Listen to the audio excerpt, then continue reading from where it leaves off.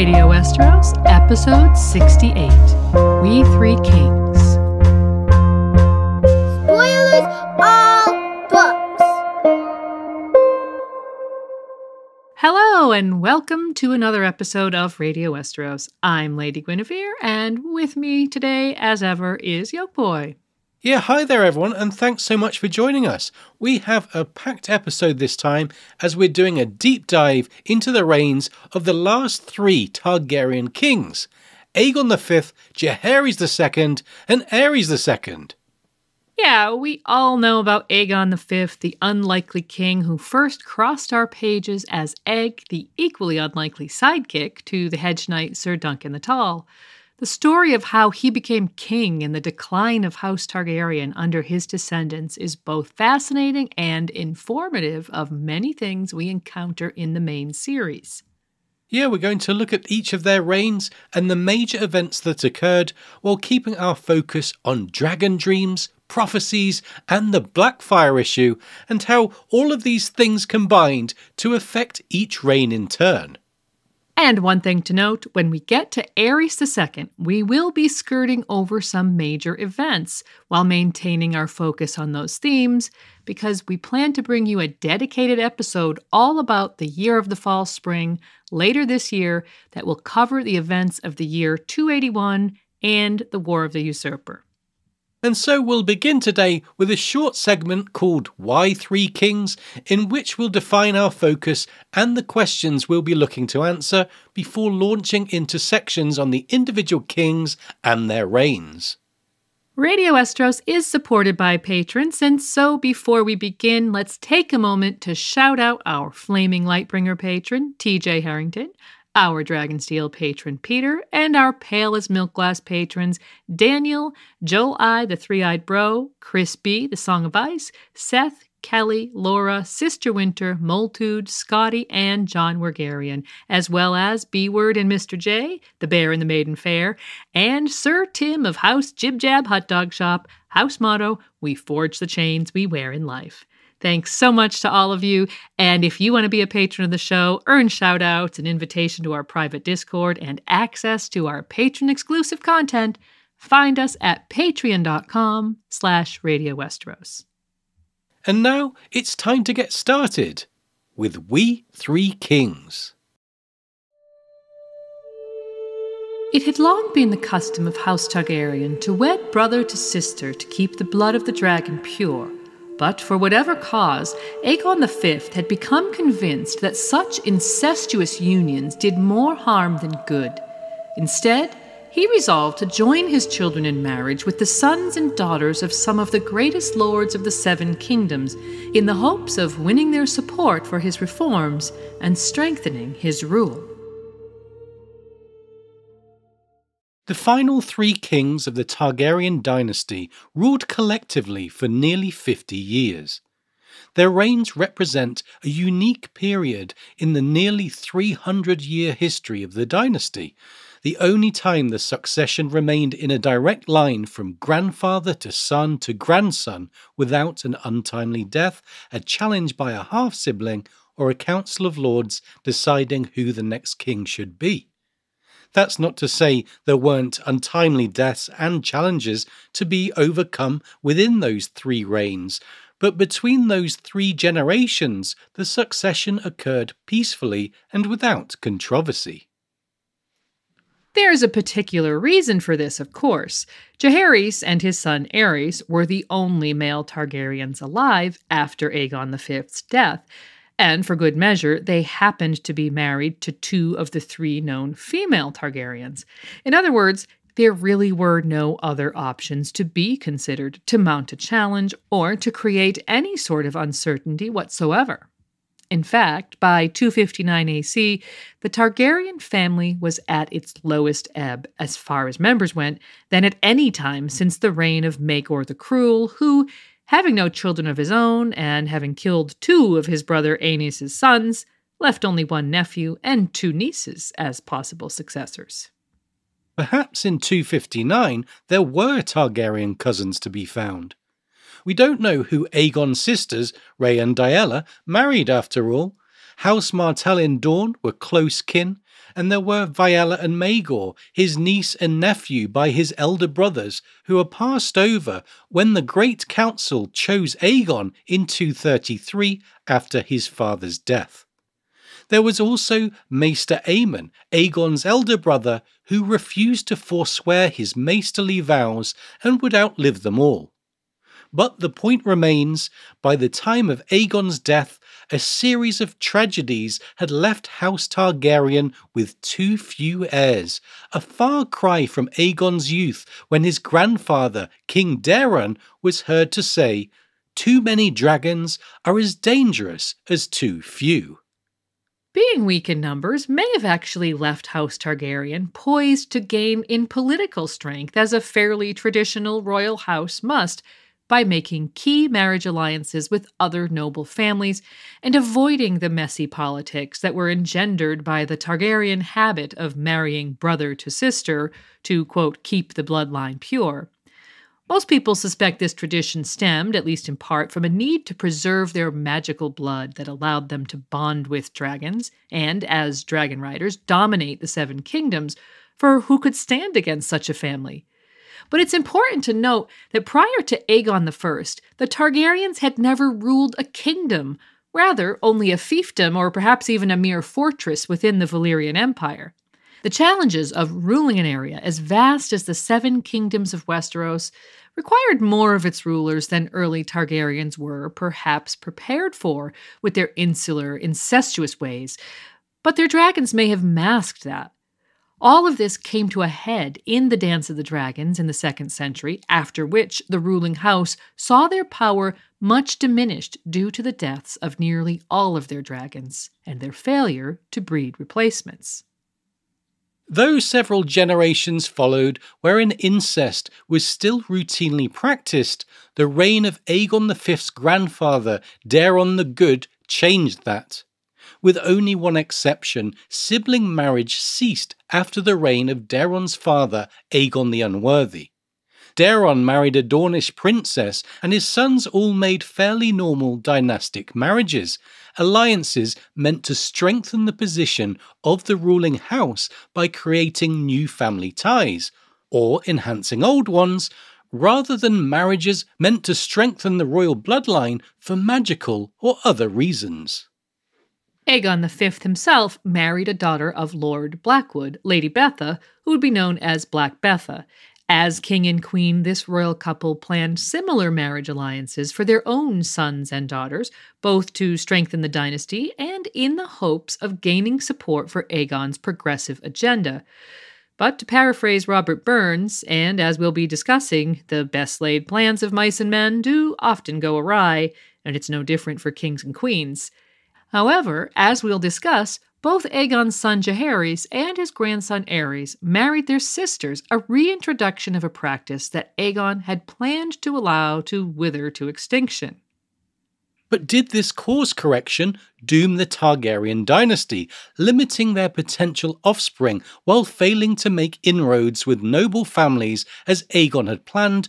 Or was it a corrective policy that would revitalize a bloodline that had been weakened by several generations of marriages with what were undoubtedly seen as lesser humans? In other words, did it lead directly to the rebirth of dragons in Aerys' children's generation? Did these marriages, in fact, lead to the fulfillment of a prophetic destiny for House Targaryen? By examining these three kings and much that occurred during their reigns, we hope to gain some clarity about where the Targaryen dynasty was headed in those last fateful decades.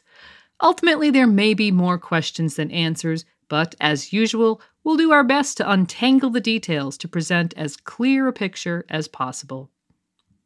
And so, coming up, we'll begin with a discussion of Aegon's reign from the Great Council, which reluctantly chose him to rule, to the years when dreams of dragons began to have an impact on his reign to its tragic conclusion including the reasons why the king, who we first met as an idealistic and thoughtful young boy travelling Westeros as the squire of a humble hedge knight, and who became arguably the most progressive king in Westerosi history, would feel the need to have actual dragons on his side in order for his reign to succeed. As he grew older, Aegon V had come to dream of dragons flying once more above the seven kingdoms of Westeros. In this, he was not unlike his predecessors, who brought septons to pray over the last eggs, mages to work spells over them, and maesters to pore over them. Though friends and counselors sought to dissuade him, King Aegon grew ever more convinced that only with dragons would he ever wield sufficient power to make the changes he wished to make in the realm and force the proud and stubborn lords of the Seven Kingdoms to accept his decrees. When Aegon came to the throne in 233, he was considered an unlikely successor to his father. Maekar had four sons, after all, of which he was the youngest. Maekar himself had been the youngest of Daeron's four sons, so his own reign had also been fairly unlikely. When Aegon was born in 200 AC, his father was, at best, seventh in line for the throne, while he himself was 11th.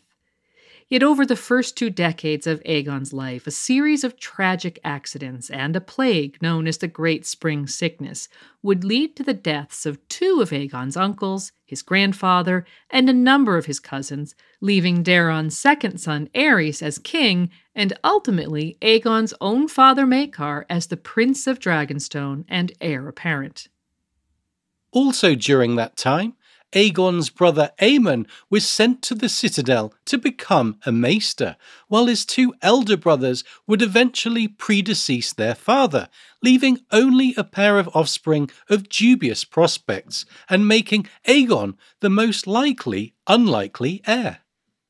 In fact, one could rightly question why Aegon wasn't a more clear cut candidate to succeed his father. Perhaps even question why Maekar never named him as his heir while he lived. Maekar's elder sons had been problematic, to say the least. Daeron, the eldest, was a well known drunkard and womanizer who died some years before his father, reportedly from a pox caught from a sex worker. The next eldest, Aerion, possessed the cruelty bordering on madness that had been seen in Targaryens from time to time. Known as the Monstrous after his elder brother dubbed him a monster, he preferred to call himself Bright Flame, perhaps fittingly, since he died drinking wildfire, believing it would transform him into a dragon. It seems like Maekar would have had an easy choice in naming his fourth son Prince of Dragonstone prior to his death.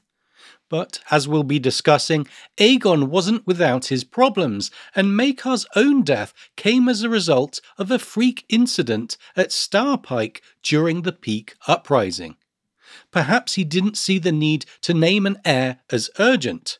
Hindsight, as they say, is quite perfect.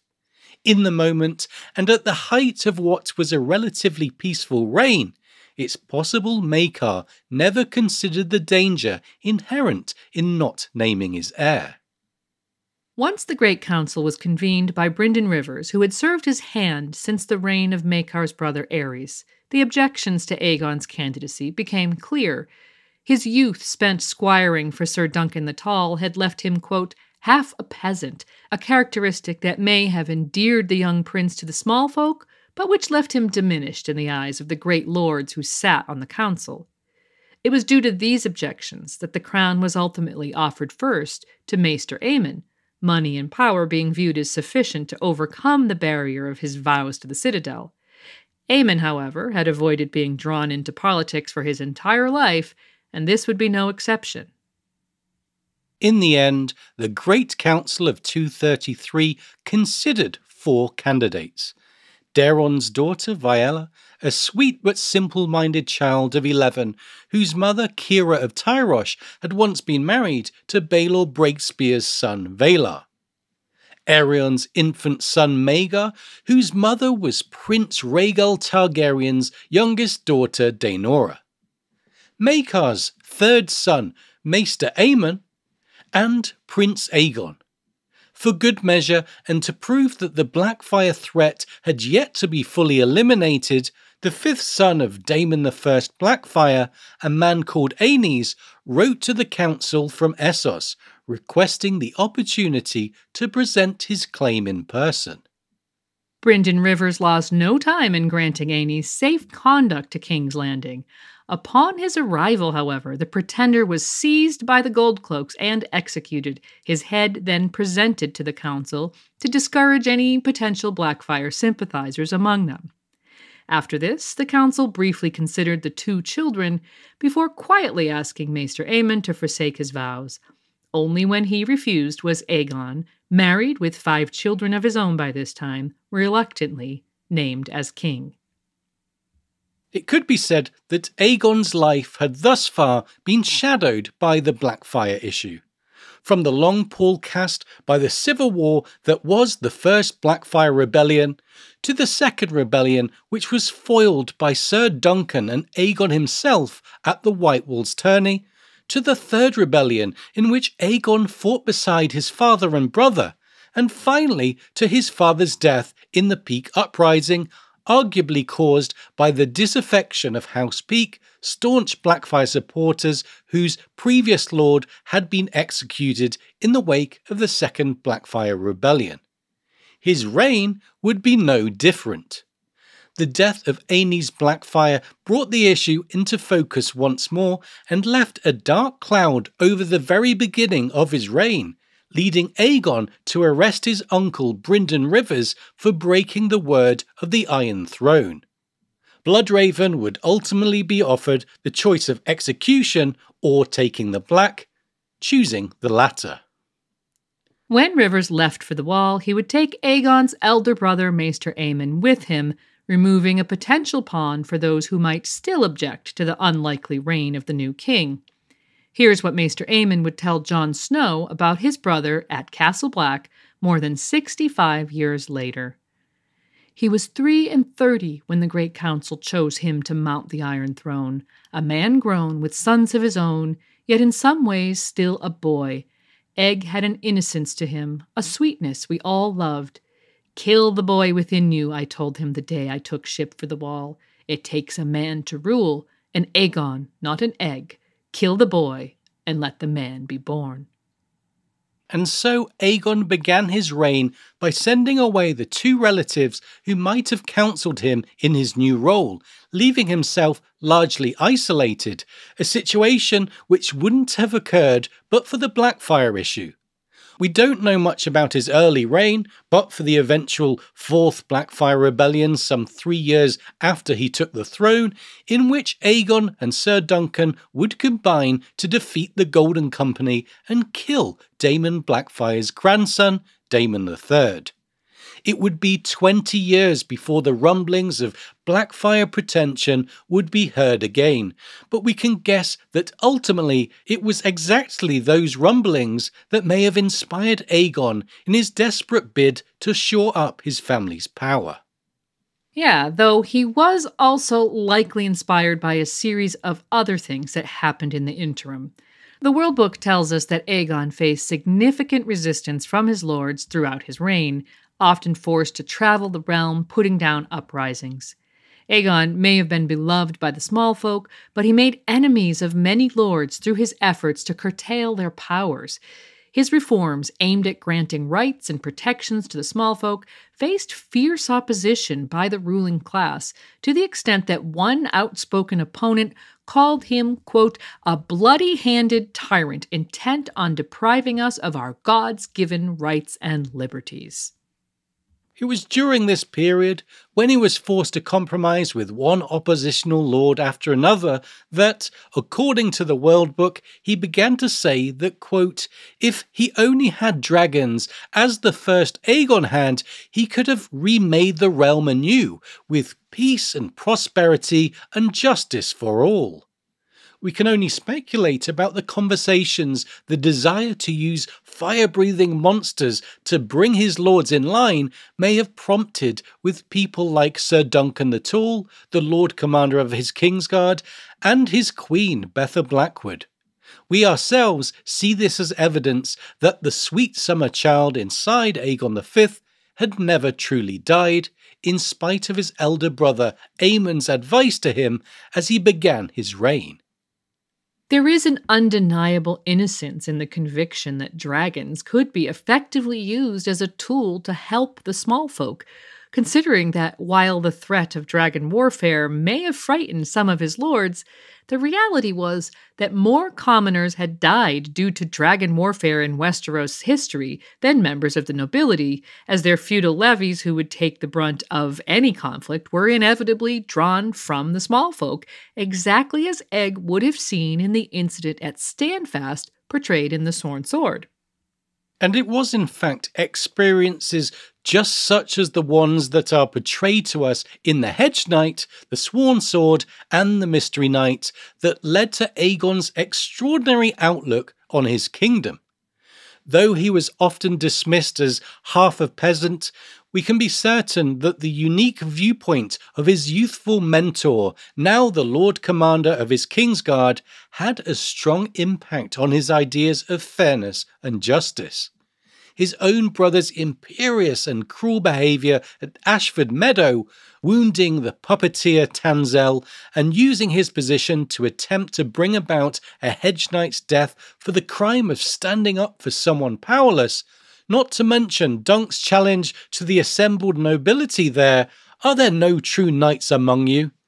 would have stood out as emblematic of the great divide between the privileged and the masses the day to day life of sleeping in inns and camping in fields, working in stables and meeting real people who had to struggle and strive for their very existence, who were so often treated unfairly, who lacked the means to obtain justice, and were frequently the first victims of their lord's quarrels and shortcomings, certainly wouldn't have hurt either. Maekar clearly saw the value in the lessons his son was learning, though it must be said he likely never contemplated that the boy would one day sit the Iron Throne. Beyond the statement, he enacted numerous reforms and granted rights and protections to the commons that they had never known before. We're not told the exact nature of Aegon's reforms, only that he had worked for them prior to his ascension, that they were unpopular with the nobility, and that as his reign progressed, he found himself forced to compromise on many occasions to placate recalcitrant lords. It seems likely that, given the massive population losses of the First Blackfyre Rebellion and the Great Spring Sickness, the reforms Aegon desired would have made it easier for peasants to leave the lands they were born to, to travel in search of work, and to obtain a fair wage, all of which would have fostered upward mobility for peasants at the expense of both their lords and the status quo. Similar developments occurred in Europe following the Black Death and the numerous wars of the 14th century, and no matter where you are, advances for peasants are always greeted with great suspicion and disapproval by the lords who sought to control the lives of their villeins for their own good. The sheer unfairness of the feudal system in Westeros could have easily prompted the idealistic Aegon to seek a better way, but reforms are difficult to achieve in the best of times, and as we've said, the first three decades of the third century had not been particularly kind to House Targaryen. Nonetheless, perhaps Aegon's drive for dragons wouldn't have become quite so urgent had his sons not proved as unruly as his lords. As we mentioned in the introduction, Aegon and his wife had planned a series of highly favourable matches for their children. The eldest, Duncan, was to marry a daughter of Lord Lyonel Baratheon, rekindling an old family connection and tying the Stormlands to Aegon's cause. Jaehaerys, their second son, was betrothed to a daughter of House Tully and Princess Shaera to Luthor Tyrell, heir to Highgarden. A third son, Daeron, would have married Lady Olenna Redwyne of the Arbor. These noble connections would have been invaluable to Aegon's reign, placing three of his children in families of his lords paramount, and a fourth in the family that could field the largest navy in Westeros. But, unfortunately for Aegon, his sons had other ideas. Aegon and Betha's eldest son, Prince Duncan, also known as Duncan the Small, became Prince of Dragonstone when his father assumed the throne. As his father's heir, he was naturally expected to make a suitable marriage and provide the dynasty with heirs for the future.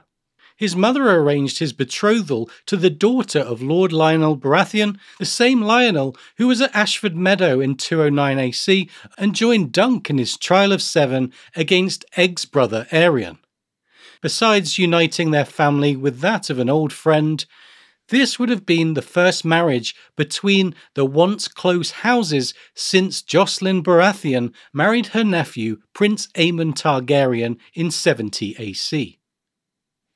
But in 239 AC, traveling in the Riverlands, Prince Duncan met a mysterious girl who would come to be known as Jenny of Oldstones. Jenny claimed descent from a line of kings of the First Men, possibly House Mudd of Oldstones, but she was essentially a commoner who some locals suspected of being a witch. She was, whatever the king's sympathies for the small folk might be, certainly not considered an appropriate match for the crown prince, one who was already betrothed to another besides. Medieval betrothals were serious things, legally binding contracts that could not be easily set aside. But Prince Duncan, taking his cue from his own parents who had married for love, took the unprecedented action of marrying Jenny against his parents' wishes. The uproar was considerable. His father commanded him to set the girl aside. His mother must have begged, and his father's small council, together with the High Septon, insisted that Duncan adhere to his betrothal agreement with Lord Lyonel's daughter his son's jilting of a high-born maiden in favour of a commoner was not likely to win King Aegon any friends amongst his lords, and so the situation was viewed as of the highest importance, and the pressure on the young Prince of Dragonstone must have been immense.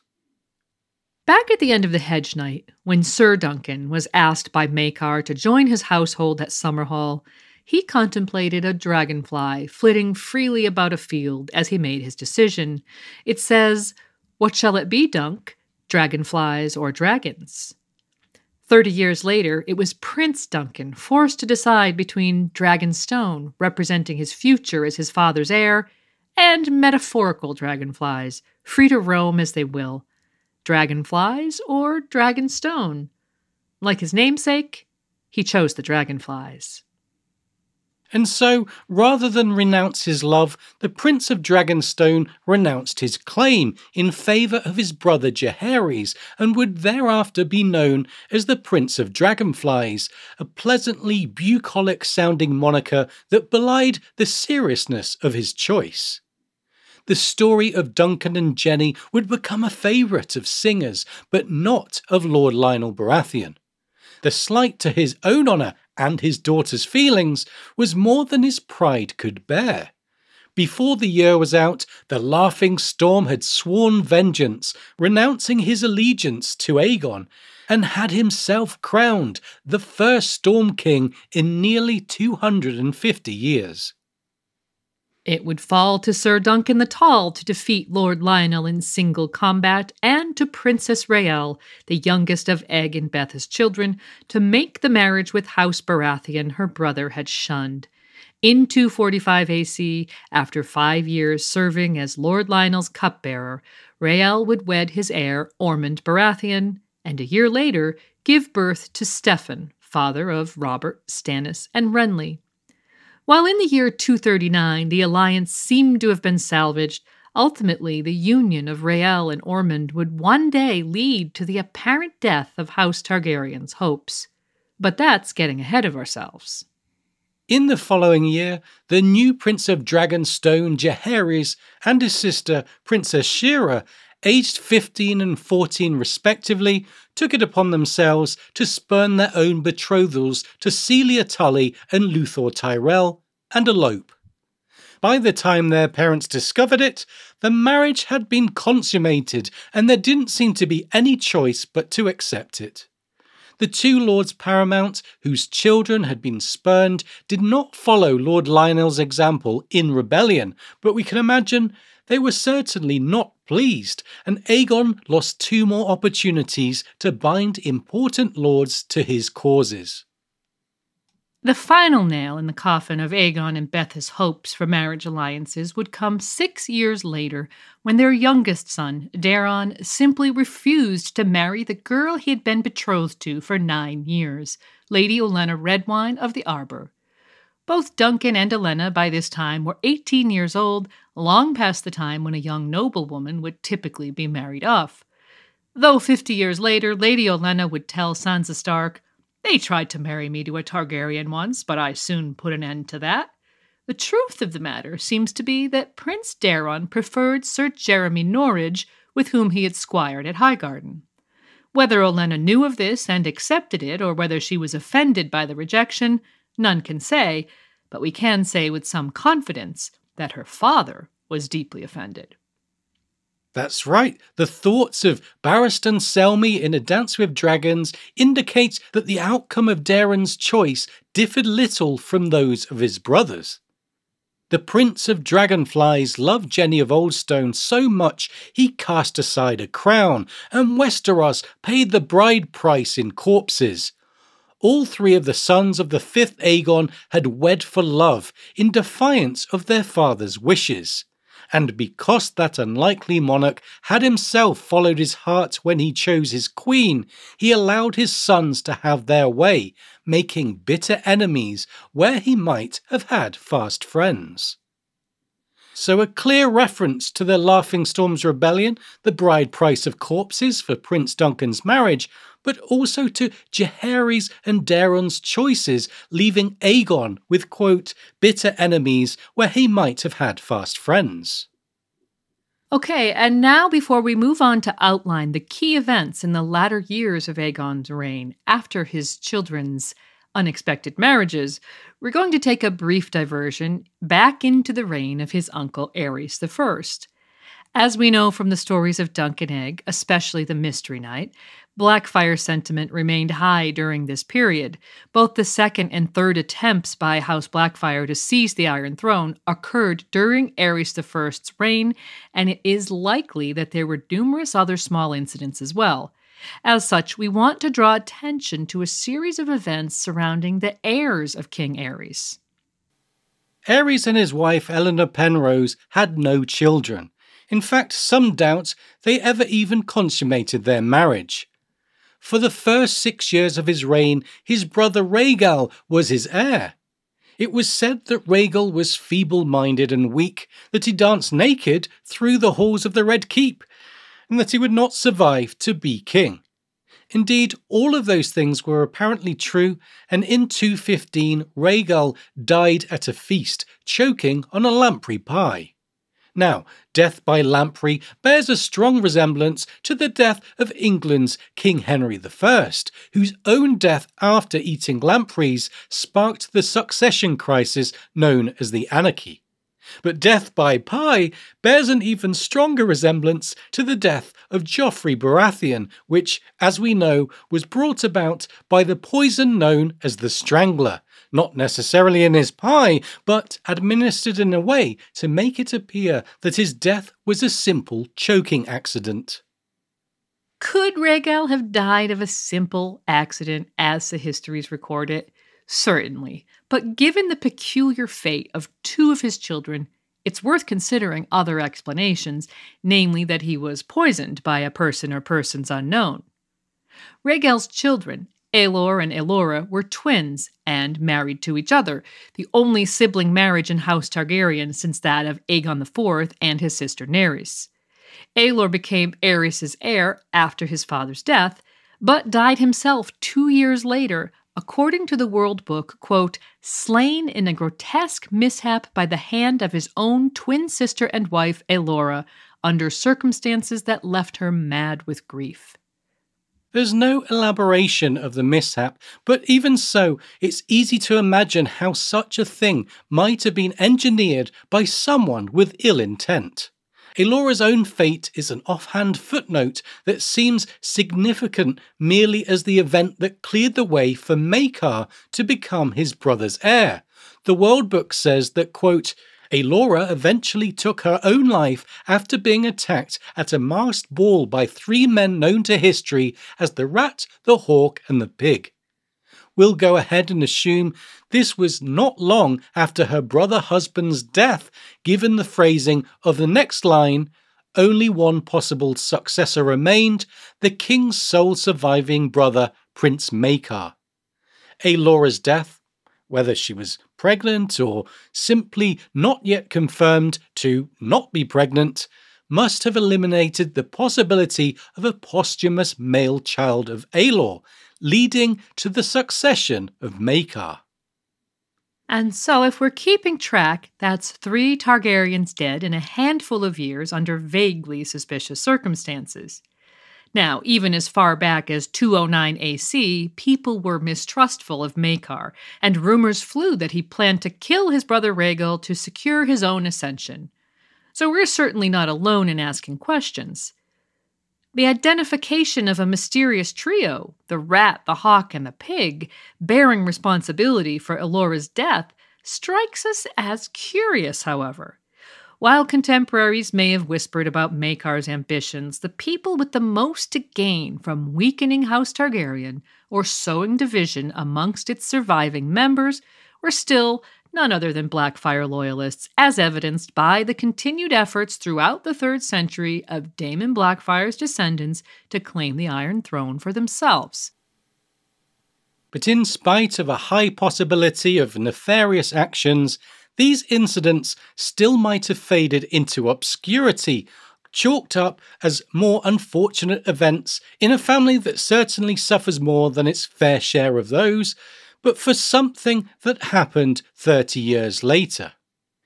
In 251 AC, during Aegon V's reign, the rat, the hawk, and the pig reappear in the histories as rebels, whose rebellion required Aegon to deploy an army led by Prince Daeron, a quote, born soldier who was happiest on the battlefield or tourney ground.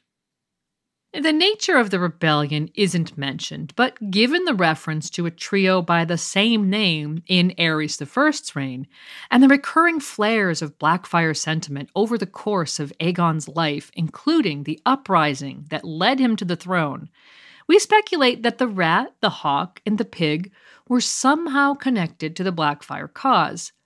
The tragedy of it is that Prince Daeron was killed in putting down their rebellion, along with Sir Jeremy Norridge. The story apparently ends after Daeron's death, as we're told the rebels were all slain or hanged. But if there was a Blackfyre connection, and if it extended all the way back to the reign of his uncle Aerys, we can guess Aegon may have been aware of it, or at least suspected and if he could attribute multiple deaths within his immediate and extended family to Blackfyre pretensions, it's easy to see how his anxiety over the waning power of House Targaryen, along with their diminishing numbers and their lack of support amongst the nobility, likely of whose families had supported Daemon Blackfyre in his first rebellion, would lead to a sense of urgency, desperation, or even obsession with bringing dragons back into the equation on the side of the ruling family.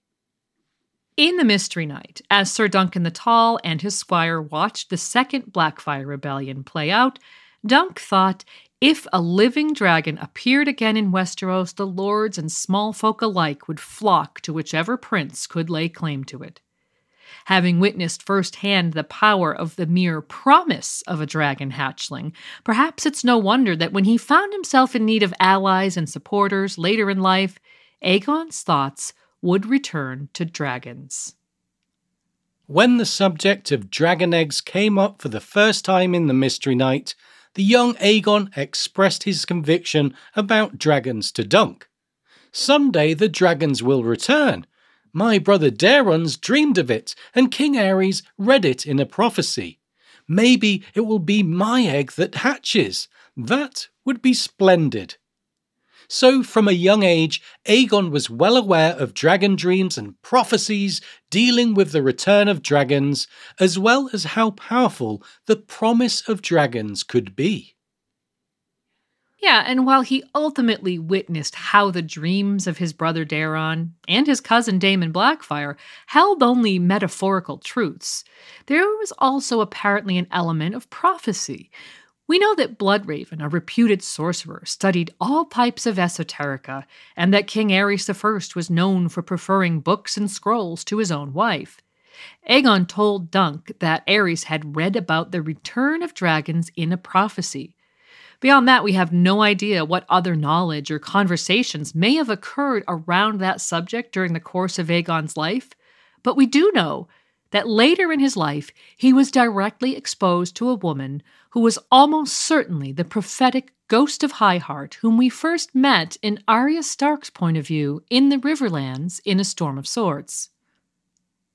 When Prince Duncan brought his wife, Jenny of Oldstones, to court, she was accompanied by a quote, dwarfish albino woman who was reputed to be a woods witch in the Riverlands.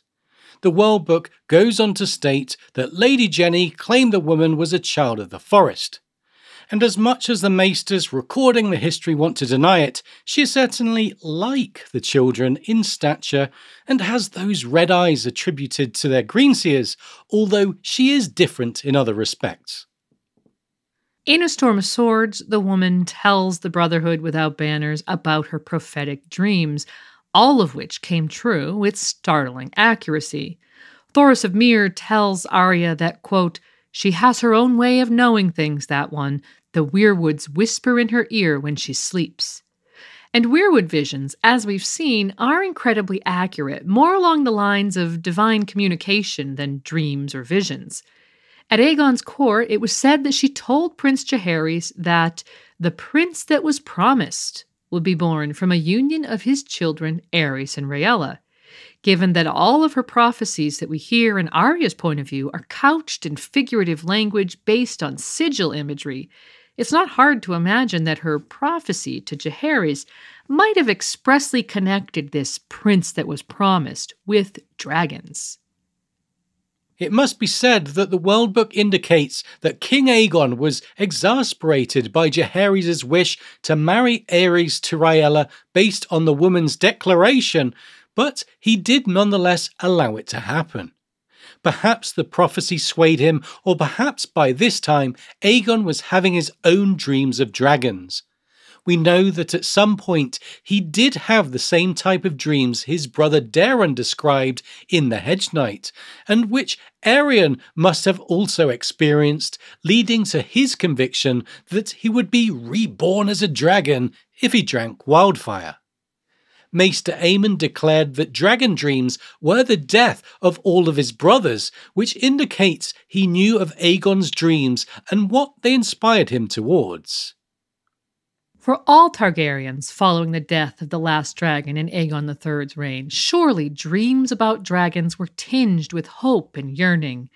That they seem to be so frequently prophetic of some significant event, though often misinterpreted, would only make them more potent for the dreamers. Were Aerion's dreams prophetic, even figuratively, as Daeron's were? We'll never know, just as we'll never know what exactly Aegon's dreams told him. But we do know that he had them, and that more than 40 years later, his brother Aemon blamed his death upon them. Which brings us to the year 259 AC.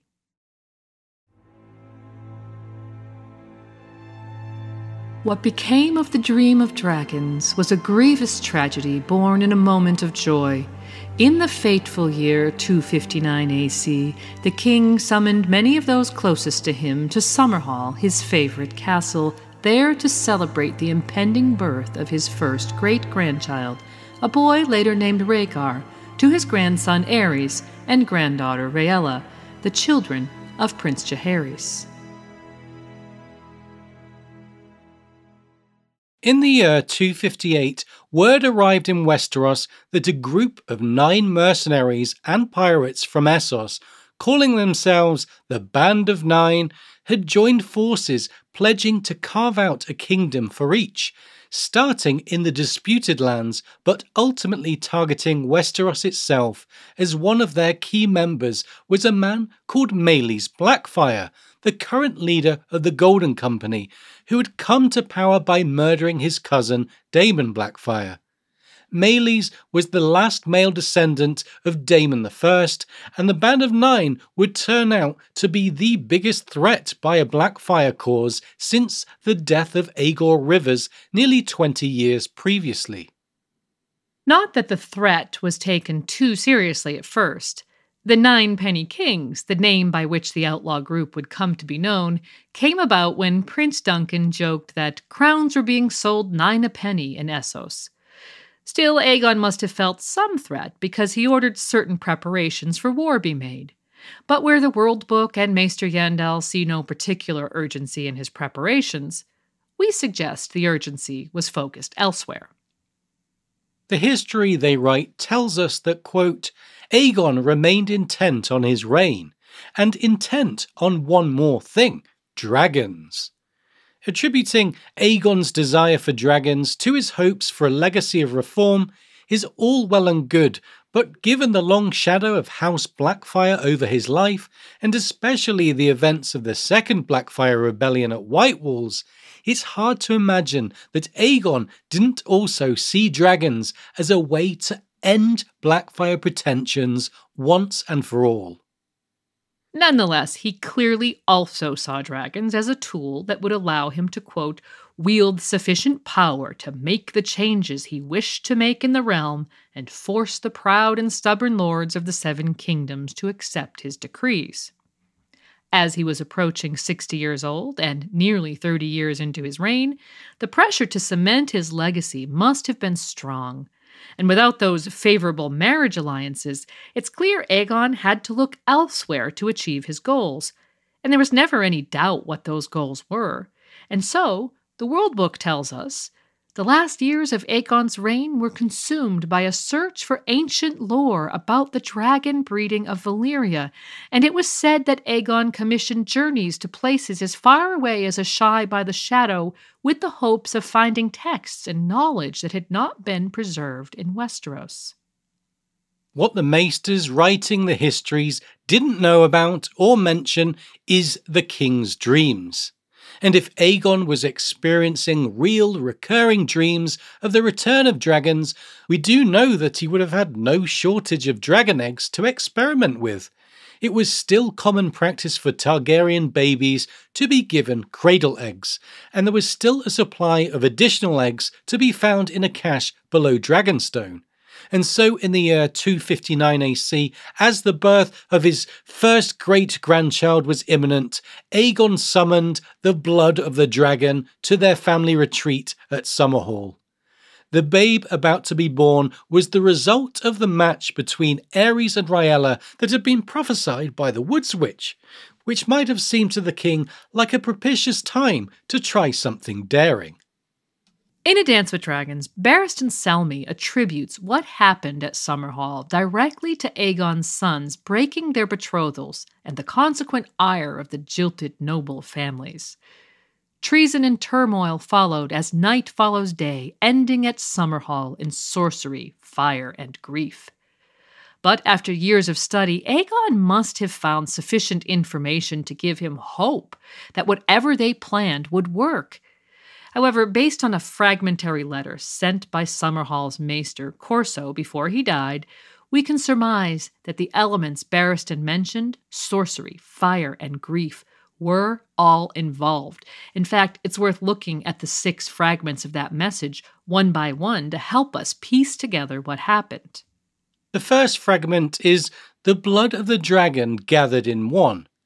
We can assume this is a reference to Aegon's summon to his family to gather together for the occasion. The phrasing seems to indicate that the entire family, blood of the dragon, was assembled, the emphasis on their blood perhaps a hint at the type of magic or sorcery that was planned. And the second fragment actually seems to support the idea that the entirety of the royal family was present. It says, seven eggs to honor the seven gods, though the king's own septon had warned. So, pairing the knowledge that each family member would possess their own egg, bestowed upon them in their cradles, with the idea that the phrase blood of the dragon indicates the whole clan, we can come up with seven Targaryens if we include the baby about to be born Aegon, his children Duncan, Jaehaerys, and Shaera, his grandchildren Aerys and Rhaella, and the babe Rhaegar. It's unknown if Rhaelle, the wife of Ormund Baratheon, would have been present, or even if she was still alive, based on the fact that she only gave her husband one son that we know of in 246. We could imagine that she had died at some time since his birth, but it's also entirely possible that she was present and made the seventh, with the new babe not being counted. And so we speculate that the seven eggs were paired with seven Targaryens, one of whom may have been a brand new life, and surely the birth of a metaphorical dragon was a good omen for the birth of an actual dragon. The next two fragments go together pyromancers and wildfire, and really this is pretty self explanatory. Aegon must have discovered something about fire, and perhaps wildfire in particular, that led him to believe that it was a required element to hatching an egg. Let's not forget the prophecies that Melisandre seems to be working with in the main series. Azor Ahai would be reborn using king's blood and fire to wake a dragon from stone all of the elements she is seeking seem to be present at Summerhall if we correlate Azor Ahai Reborn with the prince that was promised. The next fragment of Corso's letter is Flames grew out of control, towering, burned so hot that puts us in the moment where everything went wrong, a disaster unfolding in the midst of what was meant to be a joyous and even triumphant occasion and the final part of the letter hints at heroism amidst the catastrophe.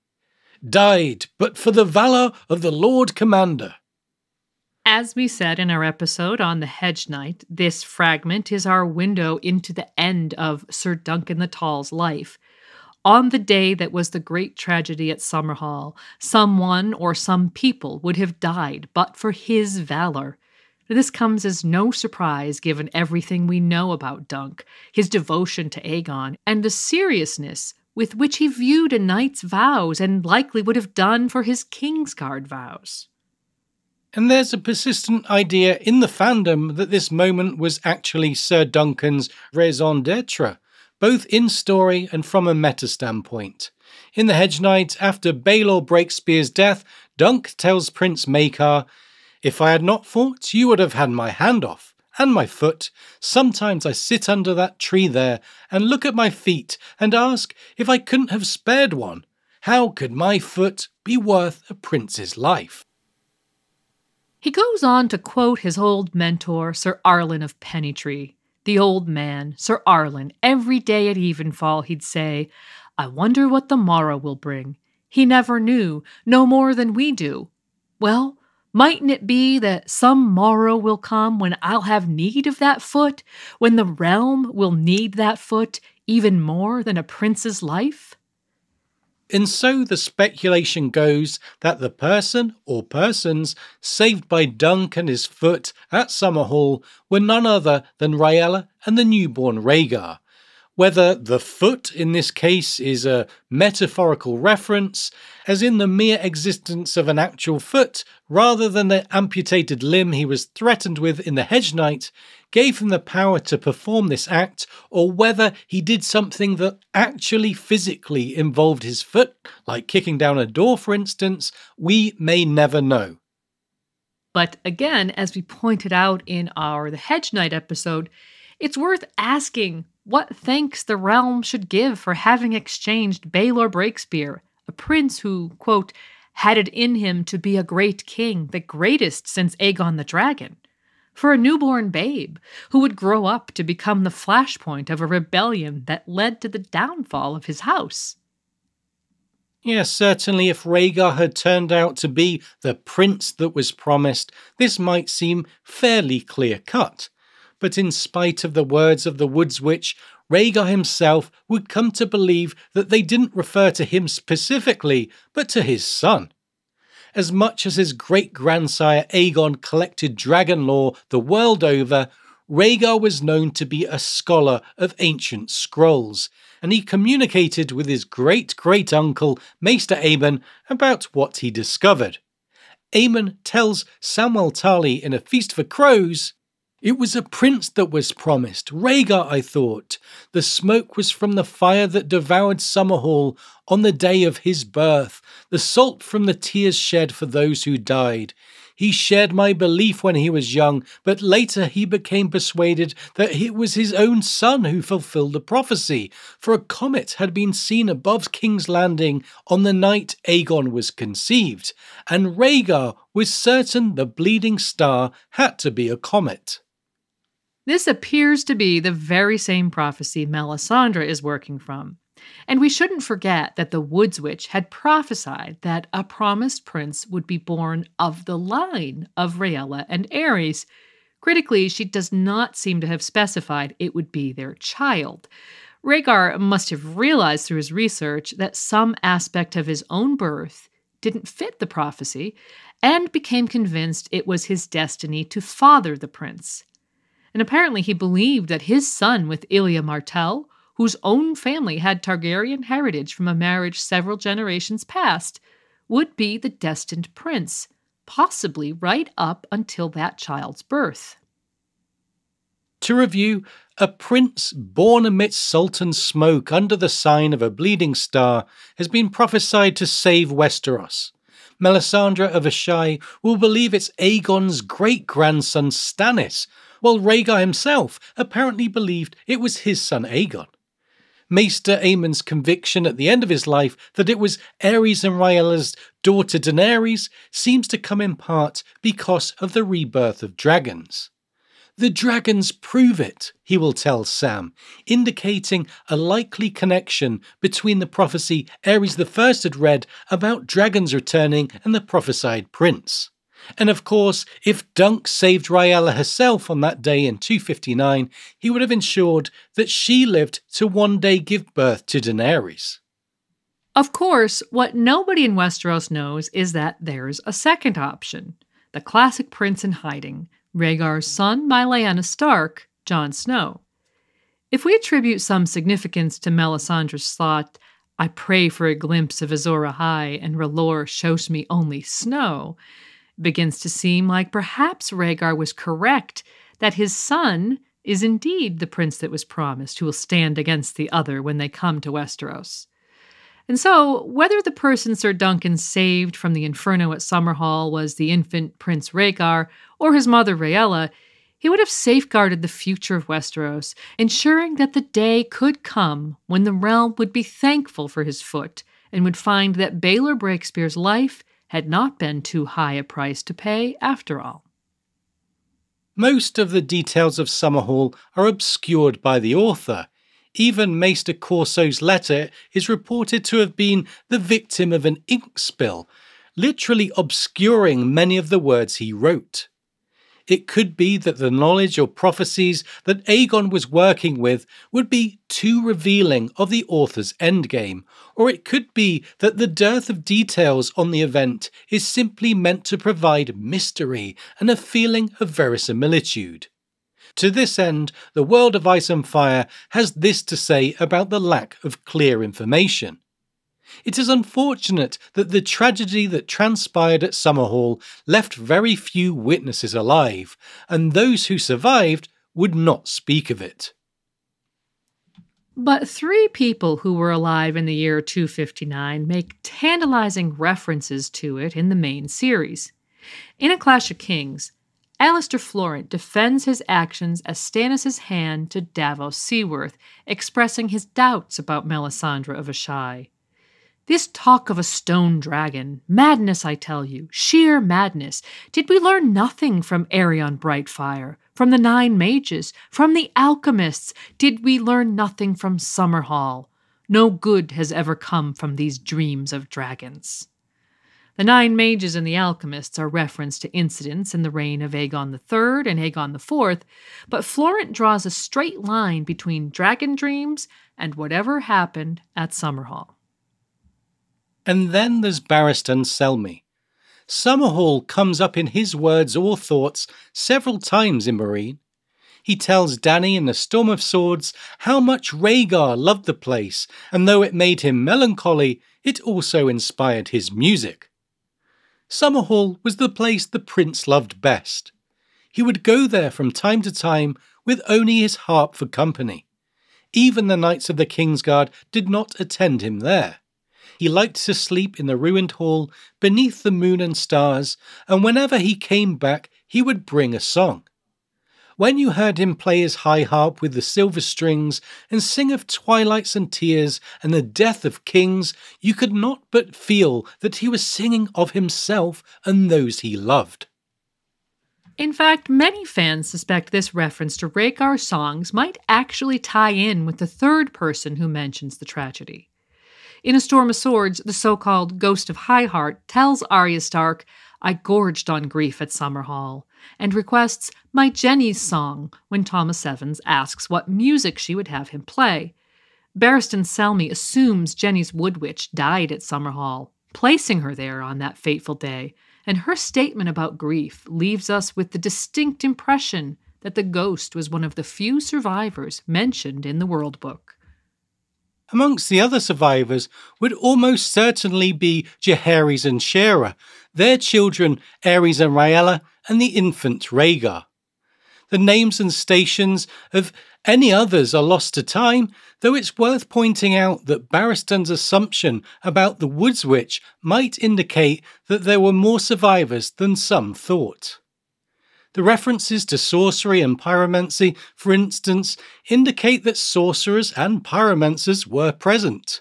While most of these practitioners likely perished in the flames, it still remains possible that one day George will introduce another survivor to shed light on the event for us. Now, let's talk about those who didn't survive the conflagration when everything went wrong with Aegon's plans and the Targaryen summer palace became a charnel house. Maester Aemon mentions to Sam, quote, the fire that devoured Summerhall and the tears shed for those who died. The deaths were probably far greater than those that have been expressly stated. Aegon himself, Prince Duncan, Sir Duncan, and the Maester are confirmed deaths. We don't know when Betha died, though since she's never mentioned in her son's reign, she either predeceased her husband or they died together in 259. Ditto Princess Rhaelle, and based on the ghost of High Heart's grief, we can assume Lady Jenny of Oldstones also perished. In a family whose dreams of dragons so often presage disaster, or perhaps even lead to disaster, the Inferno of Summerhall stands out as a stunning conclusion to a story that we saw begin with so much promise in those early tales about Aegon's youth. We've shown how his youthful experiences and progressive values, paired with a lack of support from his lords and the defiance of his children, along with the continued threat from House Blackfyre, all worked to bring him to a place where the rebirth of dragons seemed to be of paramount importance to him. We can't help but see a certain sad irony in the fact that Aegon's cousin Daemon Blackfyre's dreams of a dragon hatching at White Walls actually indicated the presence of Egg himself, while Aegon's own dreams of a dragon being born amidst the flames, in hindsight, almost certainly indicated the birth of Prince Rhaegar, who would come to be known as the Last Dragon. In spite of the fact that the dragon dreams we know of are almost 100% metaphorical in nature, it seems like the blood of the dragon can't help but hold out hope that one day their dreams will literally come true. Up next, we'll review the brief reign of Aegon's son Jaehaerys, whose own dreams of dragons may have led to the marriage of his son and daughter and the birth of the last dragon, and who was faced with the final Blackfyre rebellion all too soon after the tragedy at Summerhall. The grief and glory of my house. I see them in my dreams I see their shadows on the snow, hear the crack of their leathern wings, feel their hot breath. My brothers dreamed of dragons too, and the dreams killed them, every one.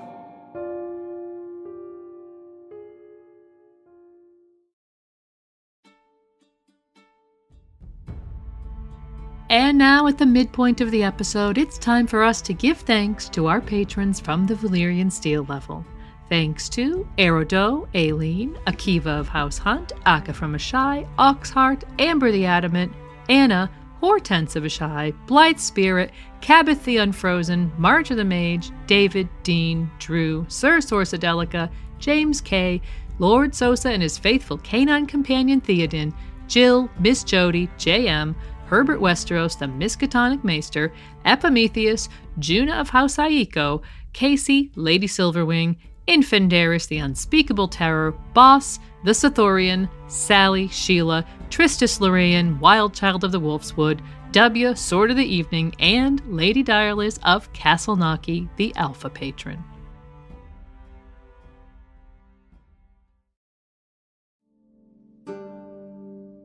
Though never strong, Jaehaerys II proved to be a capable king, restoring order to the Seven Kingdoms and reconciling many of the great houses who had grown unhappy with the Iron Throne because of King Aegon V's attempted reforms. Jaehaerys II came to the throne in the shadow of a great family tragedy, having lost at least his father and brother, and possibly a mother and sister as well. His wife Shaera, their children, and newborn grandson were among the only survivors of Summerhall. Though he was neither a strong man nor skilled in military matters, he is noted to have been intelligent and not lacking in courage, and so his reign, though it would be brief, had some notable successes. No sooner had Jaehaerys returned to King's Landing after Summerhall than news came that the Band of Nine had taken the Stepstones and thus were positioned to launch an attack on the Seven Kingdoms. Like his father and older brother, Jaehaerys had hoped that the Band of Nine would be defeated or elsewise disintegrate during fighting in Essos with Maelys the Monstrous declaring himself King Maelys the First Blackfyre and leading the band on the stepstones, it was clear that more than hope was called for. Maelys Blackfyre had been dubbed the Monstrous at birth when it was declared he had devoured his own twin in the womb. The evidence for this act was a secondary small head protruding goiter like from his neck, the head never grew larger than a fist, and it's never noted if the unusual appendage spoke, or saw, or smelled, only that it existed and contributed to the demonic reputation of the man. As we said, Maelys seized control of the Golden Company by defeating his cousin Daemon, twisting the man's head from his shoulders after killing his destrier with a Gregor Clegane like punch, though it's never noted from which of Daemon the First's sons either descended only that they were the last two male descendants of the Blackfyre line. Blackfyres had been troubling the peace of the realm for more than 60 years at this point, and while their overt support had waned amongst the lords of Westeros during that time, Aegon V's unpopular reforms had left the ruling house in a precarious position. It was no accident that Bloodraven had executed the Blackfyre claimant at the beginning of Aegon's reign, as the Hand would have been all too aware of both lingering Blackfyre sentiment and the danger it would pose to his reform minded nephew. For Jaehaerys, with the last male Blackfyre sitting off the coast of Westeros readying an invasion, this would be a case of once more into the breach, a final attempt to put an end to the Blackfyre threat once and for all. In fact, that reference to Shakespeare's Henry V is no accident. There's a certain similarity in the length and causes of the Blackfyre rebellions to the Hundred Years' War between England and France, though admittedly with many role reversals and inversions. That said, this last attempt to defeat the Blackfyres would be to Westeros as Henry V's final campaign in France was to England, the final chapter in a generations long war that would decide the issue at stake once and for all. And so, setting aside his mourning, the new king summoned his lords and their levies and made ready to meet the threat upon the stepstones rather than wait for an attack.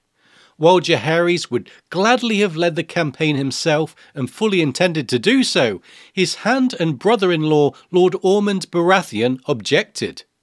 As Jaehaerys wasn't used to or skilled in military campaigns, the Hand argued, his presence would unnecessarily endanger the kingship so soon after his father's death. and so Jaehaerys relented and allowed Lord Ormund to lead the army. We know from the World Book that a thousand knights and ten thousand men at arms from the west responded to the king's summons, and that Lord Quellon Greyjoy contributed a hundred longships, while Dorne sent an unnumbered company of spearmen. There were men from the Stormlands, Riverlands, North, Vale, and Reach present as well, and if we consider the relative size and strength of all the regions, we can surmise that the assembled host that went to the stepstones probably exceeded 50 to 60,000 men at arms, along with thousands of knights, squires, and sailors. Among this host would be the Prince of Dragonstone, Aerys Targaryen, along with seven current or future lords paramount, Hoster Tully, Rickard Stark, Jon Arryn, Lord Ormund, and his son Steffon Baratheon, Tywin Lannister, and Quellon Greyjoy. In fact, many of the key relationships that would shape the future of Westeros were forged upon the Stepstones. But it was a young knight from a minor house in the Stormlands who would distinguish himself most of all. The Hand, Lord Ormund Baratheon, was one of the first to die when the Westerosi forces landed on the Stepstones. He was killed by Maelys Blackfyre himself and died in his son Steffon's arms. Command of the army then passed to the new Lord Commander of the King's Guard, Sir Gerald Hightower. The army under Sir Gerald seems to have been merely holding their own without making significant progress towards victory when the ebb and flow of battle brought Maelys into single combat with Sir Barristan Selmy. Dubbed Barristan the Bold by Prince Duncan after he entered a tournament as a mystery knight while still a young squire, and eventually knighted by Aegon V at the age of 16 after unhorsing both Prince Duncan and Sir Duncan the Tall at attorney, Selmy, quote, cut a bloody path through the Golden Company to reach Maelys and kill him.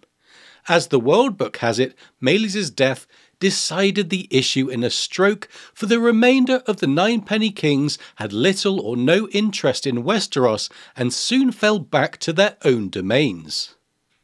Soon enough, though a cost had been paid in bloodshed, there was peace in the realm once more. Sir Barristan was named to the King's Guard by King Jaehaerys, who was proving to be a more than capable king. He restored order across the realm and was able to reconcile many of the lords who had been displeased with his father's reforms. We don't know to what extent he may have rolled back those reforms, for we're never told whether he shared or rejected his father's progressive ideals, though he was noted to be much more conservative than Aegon when it came to Targaryen marriage practices. That's not to say Jaehaerys was blindly in favour of reviving old traditions. It was he who told Barristan Selmy that, quote, Madness and greatness are two sides of the same coin, Every time a new Targaryen is born, the gods toss the coin in the air and the world holds its breath to see how it will land. To have such a clear sighted vision of the realities of his family history, we think he'd probably have been more of a mind with his father than not though perhaps such a pragmatic statement also indicates a realism that his father didn't possess, leading to more of a willingness to compromise with the laws of the realm, for instance, than Aegon had. Another thing we aren't told is if he ever had thoughts or dreams about dragons. We can guess, however, that there was a time when he did dream of dragons. How else to explain how easily he was influenced by the Woods Witch who was brought to court by his sister in law to marry his son and daughter to each other against their will?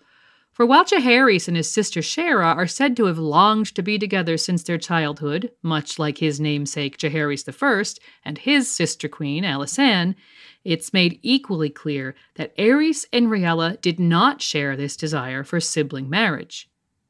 Barristan tells Daenerys in A Dance with Dragons that there was no fondness between her parents, that each actually would have preferred another, Sir Bonifer Hasty and Lady Joanna Lannister specifically. But in spite of this, and the fact that King Aegon expressly disapproved of the match between his grandchildren, it's said he washed his hands of it after the Woods Witch made a prophecy about the prince that was promised being born of their line, and Jaehaerys insisted.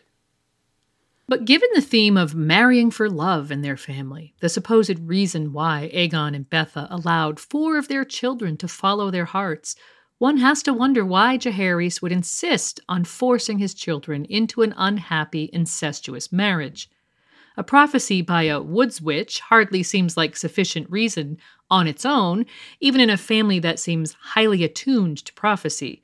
But if such a prophecy were paired with dragon dreams, it begins to feel more like affirmation of something Jaehaerys may have already had in mind. In other words, the ghost of High Heart may not have single handedly introduced the idea of the Aerys and Rhaella match into the family. We will, of course, probably never know for sure unless Sir Barristan, who is a font of information about both Jaehaerys and his children, casts light upon it one day.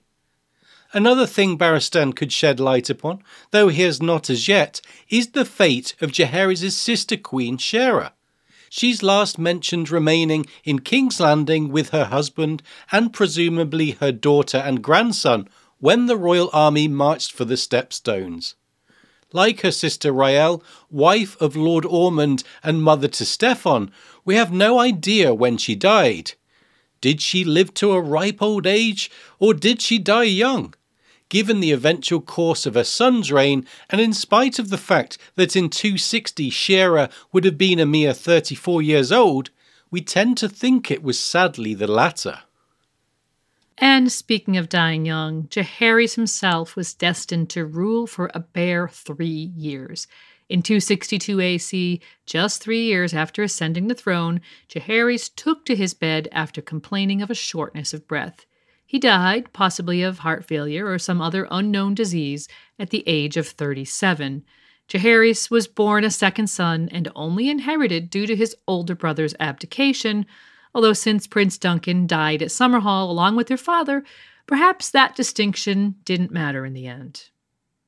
His extremely brief reign was competent and notable mainly for the end of the era of Blackfyre pretenders.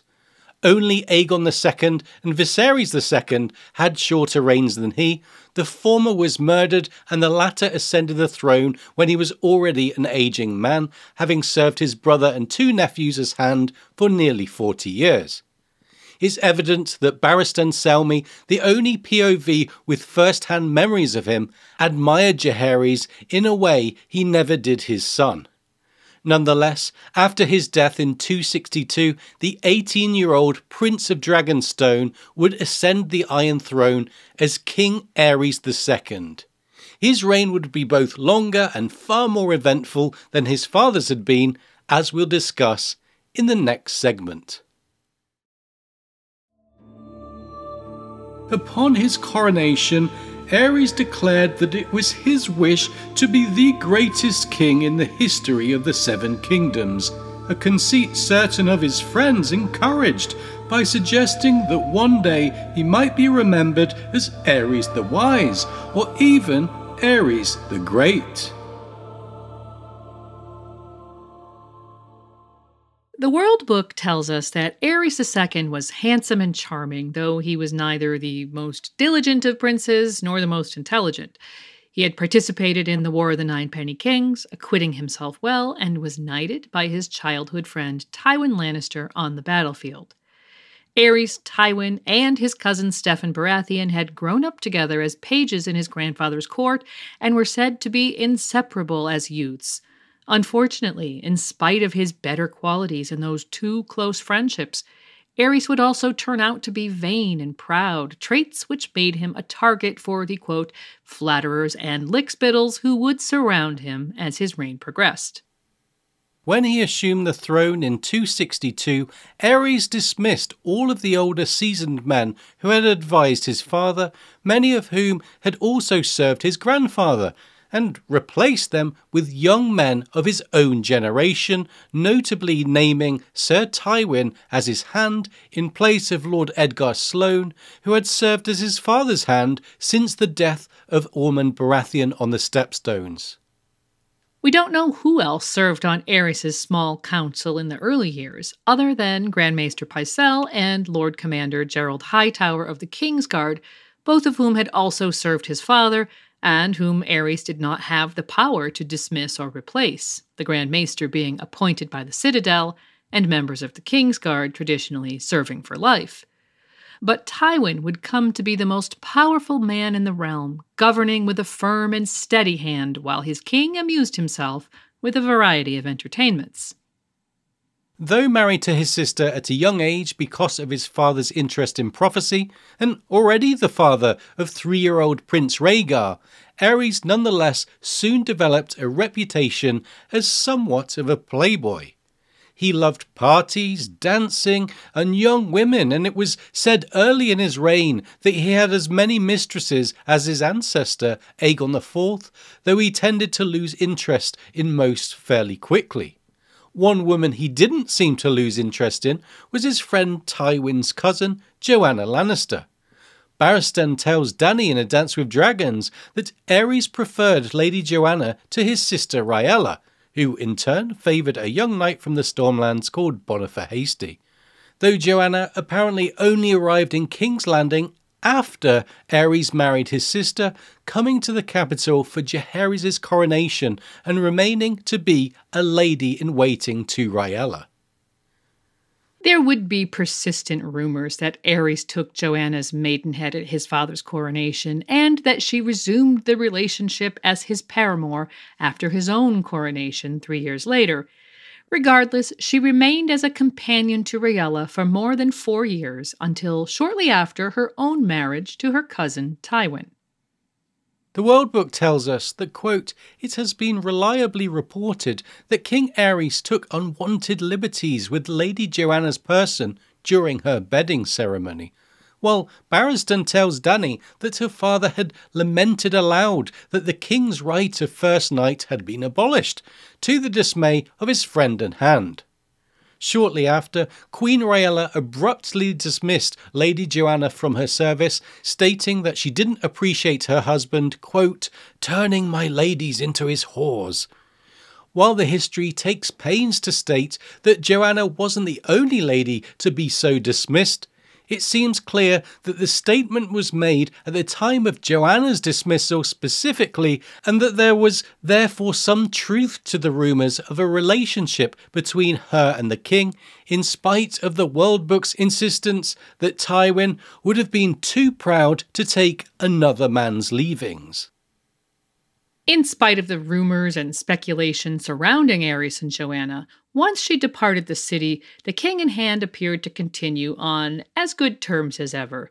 Tywin took the business of ruling the kingdom much more seriously than the king himself did, and it was arguably due to his diligence that the realm prospered early in Aerys' reign while Tywin settled a dispute with the Iron Bank of Braavos, reduced tariffs on trade in King's Landing, Old Town, and Lannisport, increased trade with the free cities, regulated artisans, built roads, hosted tournaments, and, most significantly, repealed the reforms from Aegon V's reign, Aerys was free to travel, attend balls, flirt with young women, and concoct one grandiose improvement scheme after the next.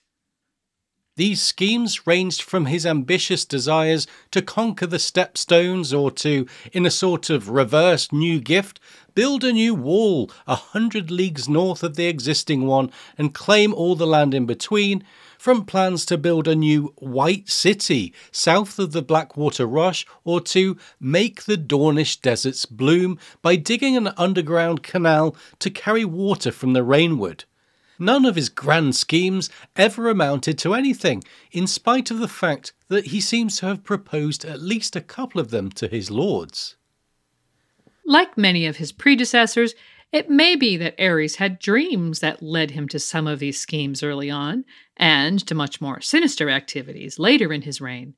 Jaime Lannister remarks in A Storm of Swords that Aerys's later in life wildfire obsession was not unlike that of his great uncle Aerion Brightflame.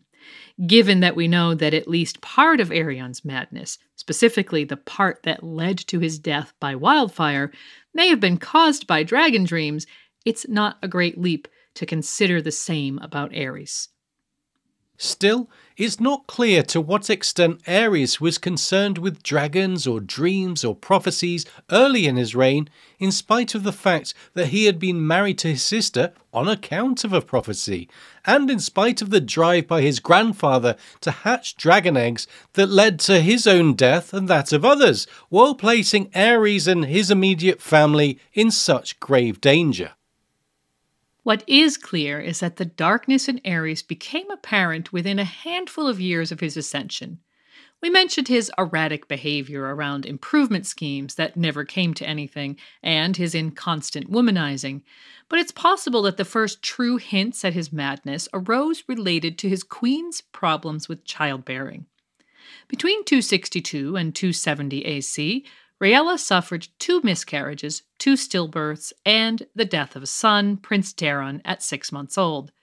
Aerys decided his sister had been unfaithful and decreed she would be restricted to Maegor's holdfast and attended by two septas round the clock. Nonetheless, the following four years brought only another miscarriage and two more infant deaths. It was after this eighth loss that Aerys decided first that the babe's wet nurse had poisoned him, and then that his current mistress had been responsible. Both women and the mistress's family were put to death. Deciding he had been mistaken, Aerys then made a walk of repentance and swore that he would be faithful to his wife from that time forward, a vow that must have pleased the gods, since the following year Queen Rhaella gave birth to Prince Viserys to the king's delight. Aerys's delight in the birth of his second son was shadowed with paranoia, though. The World Book reports that, quote, Kingsguard knights were commanded to stand over him night and day to see that no one touched the boy without the king's leave. Even the queen herself was forbidden to be alone with the infant. When her milk dried up, Aerys insisted on having his own food taster suckle at the teats of the prince's wet nurse to ascertain that the woman had not smeared poison on her nipples. As gifts for the young prince arrived from all the lords of the seven kingdoms, the king had them piled in the yard and burned, for fear that some of them might have been ensorcelled or cursed. This was 13 years into his reign, and by this point his erratic behaviour and paranoia seemed to be well established. In these years, his relationship with his hand and one time dearest friend had also suffered.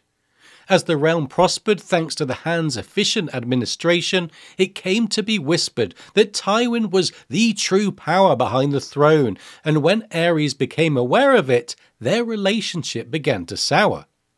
Aerys began to actively seek to humiliate and oppose his hand. And certainly the situation with Lady Joanna didn't help matters. Always eager to make comments about Joanna to his quote, overmighty servant that would tweak Tywin's nose, Aerys was clearly jealous of his hand's marriage. And when Lady Joanna died in childbed in 273 AC after giving birth to the deformed infant Tyrion, Aerys made a comment that managed to destroy the last vestiges of their friendship. The gods cannot abide such arrogance. They have plucked a fair flower from his hand and given him a monster in her place, to teach him some humility at last. Following this, the king began to seek out informants and tale tellers. Always on the lookout for treason and disloyalty, when Aerys discovered that Sir Ilyn Payne, the captain of the Hand's personal guard, had been heard to say that Lord Tywin was the true ruler of the Seven Kingdoms, he sent his Kingsguard to arrest him and had his tongue ripped out with red hot pincers. Paranoid and insecure, Aerys began from this time forward to isolate himself among toadies and sycophants. In the meantime, Aerys's heir, Prince Rhaegar, had grown into a fine young man. From an early age, Rhaegar appeared to be everything a prince should be intelligent, handsome, accomplished with both sword and harp, and beloved by small folk and nobles alike. In A Song of Ice and Fire, opinions of him in memory are almost universally positive, with the glaring exception of Robert Baratheon's. Born of a marriage that occurred as a result of a prophecy and possibly the dragon dreams of his father and grandfather, his birth was inevitably shadowed by the great tragedy at Summerhall that took the lives of so many of his family even as he was entering the world. And it may be that the circumstances of his birth inspired him towards scholarship. It said he was reading scrolls from a very young age, and we know that at some point he also carried on a correspondence about prophecy with his uncle Maester Aemon Targaryen at the Wall. That the course of his life was directed by knowledge presumably gained from his research into prophecy is indicated when Barristan, who knew Rhaegar well, tells Daenerys, One day Prince Rhaegar found something in his scrolls that changed him, no one knows what it might have been, only that the boy suddenly appeared early one morning in the yard as the knights were donning their steel. He walked up to Sir Willem Darry, the master at arms, and said, I will require sword and armour. It seems I must be a warrior. Of course, we can't also help but consider the role dreams may have played in his decisions. Barristan, being one of the most stolidly concrete observers in the series, is far more likely to attribute this apparently forward looking statement to something tangible like a book or a scroll than to such an intangible and likely unspoken thing as a prophetic dream. In any case, Rhaegar was evidently dialed into whatever prophecy had led to the circumstances of his birth, both his parentage and the inferno that accompanied it. But he also took pains to be a dutiful and valiant prince. It could be that the melancholy that he occasionally displayed, notably when playing his silver stringed harp, actually made him more attractive as a prince. Certainly his father, with his mistresses and balls early in his reign, never seemed to truly take time to mourn the tragedy at Summerhall, or later his own parents' relatively early deaths. That outward display of humanity was left to the crown prince, and his reputation was the better for it. In A Dance with Dragons, Barristan, reminiscing about the kings he had served, thinks that Rhaegar would have been a finer king than any of them. And it was almost certainly attitudes like this during his father's reign that led to a growing estrangement between Aerys and his heir. We saw how harshly Aerys dealt with Ilyn Payne and the whispers that Tywin was the real power behind the Iron Throne. His reaction to his son's growing popularity would be less overt, but paranoia grows in the shadows, and Aerys, in those days, was becoming consumed by both. The ancient harbour town of Duskendale had been a seat of kings of old in the days of the Hundred Kingdoms. Once the most important port on Blackwater Bay, the town had seen its trade dwindle and its wealth shrink as King's Landing grew and burgeoned, a decline that its young lord, Dennis Darklyn, wished to halt. Perhaps the single largest factor contributing to Aerys' descent into paranoia, madness, and mistrust of his son was a rebellion in 277 AC by a minor lord that would become known as the Defiance of Duskendale. Once a seat of kings, and even during the Dance of the Dragons, still an important port town, Duskendale had dwindled to a backwater, in part due to the favorable reduction of trade tariffs Tywin had granted to the ports at King's Landing, Old Town, and Lannisport. The Darklyns of Duskendale had been loyal supporters of House Targaryen since being amongst the first to bend the knee to them during the conquest, but Lord Dennis Darklyn wanted a charter for his city that would have granted it a degree of autonomy from the crown in the area of trade, including reduced tariffs and port fees. When the Hand outright refused his request, Lord Darklyn devised a plan that in hindsight was sheer madness. We've all heard the old adage about playing with fire, and perhaps Lord Darklyn should have considered it before putting his plan into action. It began with him refusing to pay his taxes, after which he invited the king to come to Duskendale personally to hear his case.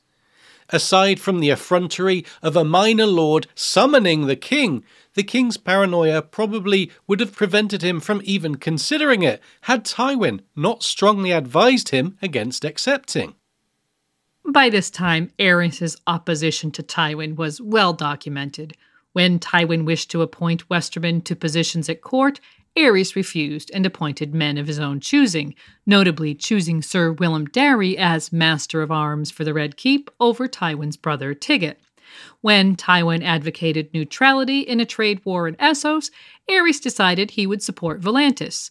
When Tywin found in favor of House Blackwood in a border dispute with their ancient rivals House Bracken, Aerys intervened and granted the mill in question to the Brackens.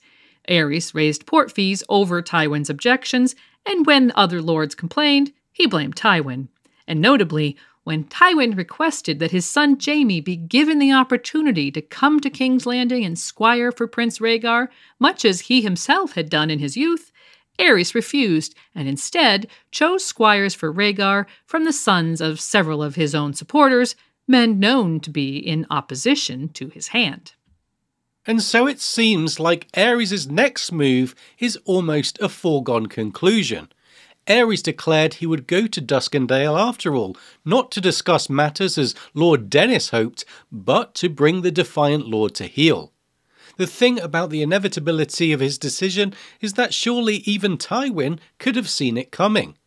And so, in light of what happened next, the idea that Tywin knew exactly what he was doing in telling his oppositional king what not to do cannot be ignored. As it happened, Aerys went to Duskendale with a small escort led by Sir Gwayne Gaunt of the Kingsguard. Upon his arrival there, the king was seized and most of his escort killed defending him. Lord Dennis sent word that he would hold the king until his demands were met, and that Aerys would be executed should any attempt be made to storm his castle, the Dunfort. Tywin resolutely ignored the demands of the defiant lord and instead summoned an army supported by a naval force and proceeded to blockade the Dunfort on all sides the siege of Duskendale began with Tywin's demand for, quote, the complete and unconditional surrender of the town and castle and the release of the king. It would continue for half a year while the king languished in the Dunfort's dungeon. The World Book tells us that during this time, quote, the Darklyns dared lay hands upon his person, shoving him roughly, stripping him of his royal raiment, even daring to strike him. Lord Dennis apparently hoped that Tywin would relent and offer him more favorable terms, perhaps access to a ship in which to flee Westeros, as is so often the request of hostage takers when things go south. Perhaps Lord Darklyn had forgotten or never heard the story of the Reynes and Tarbecks, or perhaps he hoped that the threat to the king's life would save him. But Dennis Darklyn reckoned without the steely resolve of Tywin Lannister. Lord Tywin delivered Lord Dennis a final demand for surrender. He promised, quote, should Lord Darklyn refuse again, he would take the town by storm and put every man, woman, and child within to the sword. When others of the king's advisers objected to this approach, in light of the threats made to kill the king, the record states that Tywin, indicating the crown prince, replied, he may or he may not, but if he does, we have a better king right here. It was then that Barristan Selmy volunteered for what he would one day recall as his finest hour, though the memory, in the harsh light of hindsight, had also become one of bitterness. Tywin granted the King's Guard one day to carry out his rescue mission, after which the sack of the town would commence. Barristan scaled the city wall, made his way to the Dunfort in disguise, rescued Aerys from the dungeon, and fought his way free of the castle and the town with his king in tow, in spite of sustaining an arrow wound to the chest. The aftermath of Duskendale may have been the first time in years, and was certainly the last time ever, that Tywin and Aerys were of one mind. In a dark mirror of the fate of the defiant Reynes and Tarbecks, Aerys had House Darklyn and their good kin of House Hollard destroyed and attainted, every living member executed except for a child, Dontos Hollard, whose life Barristan begged to be spared.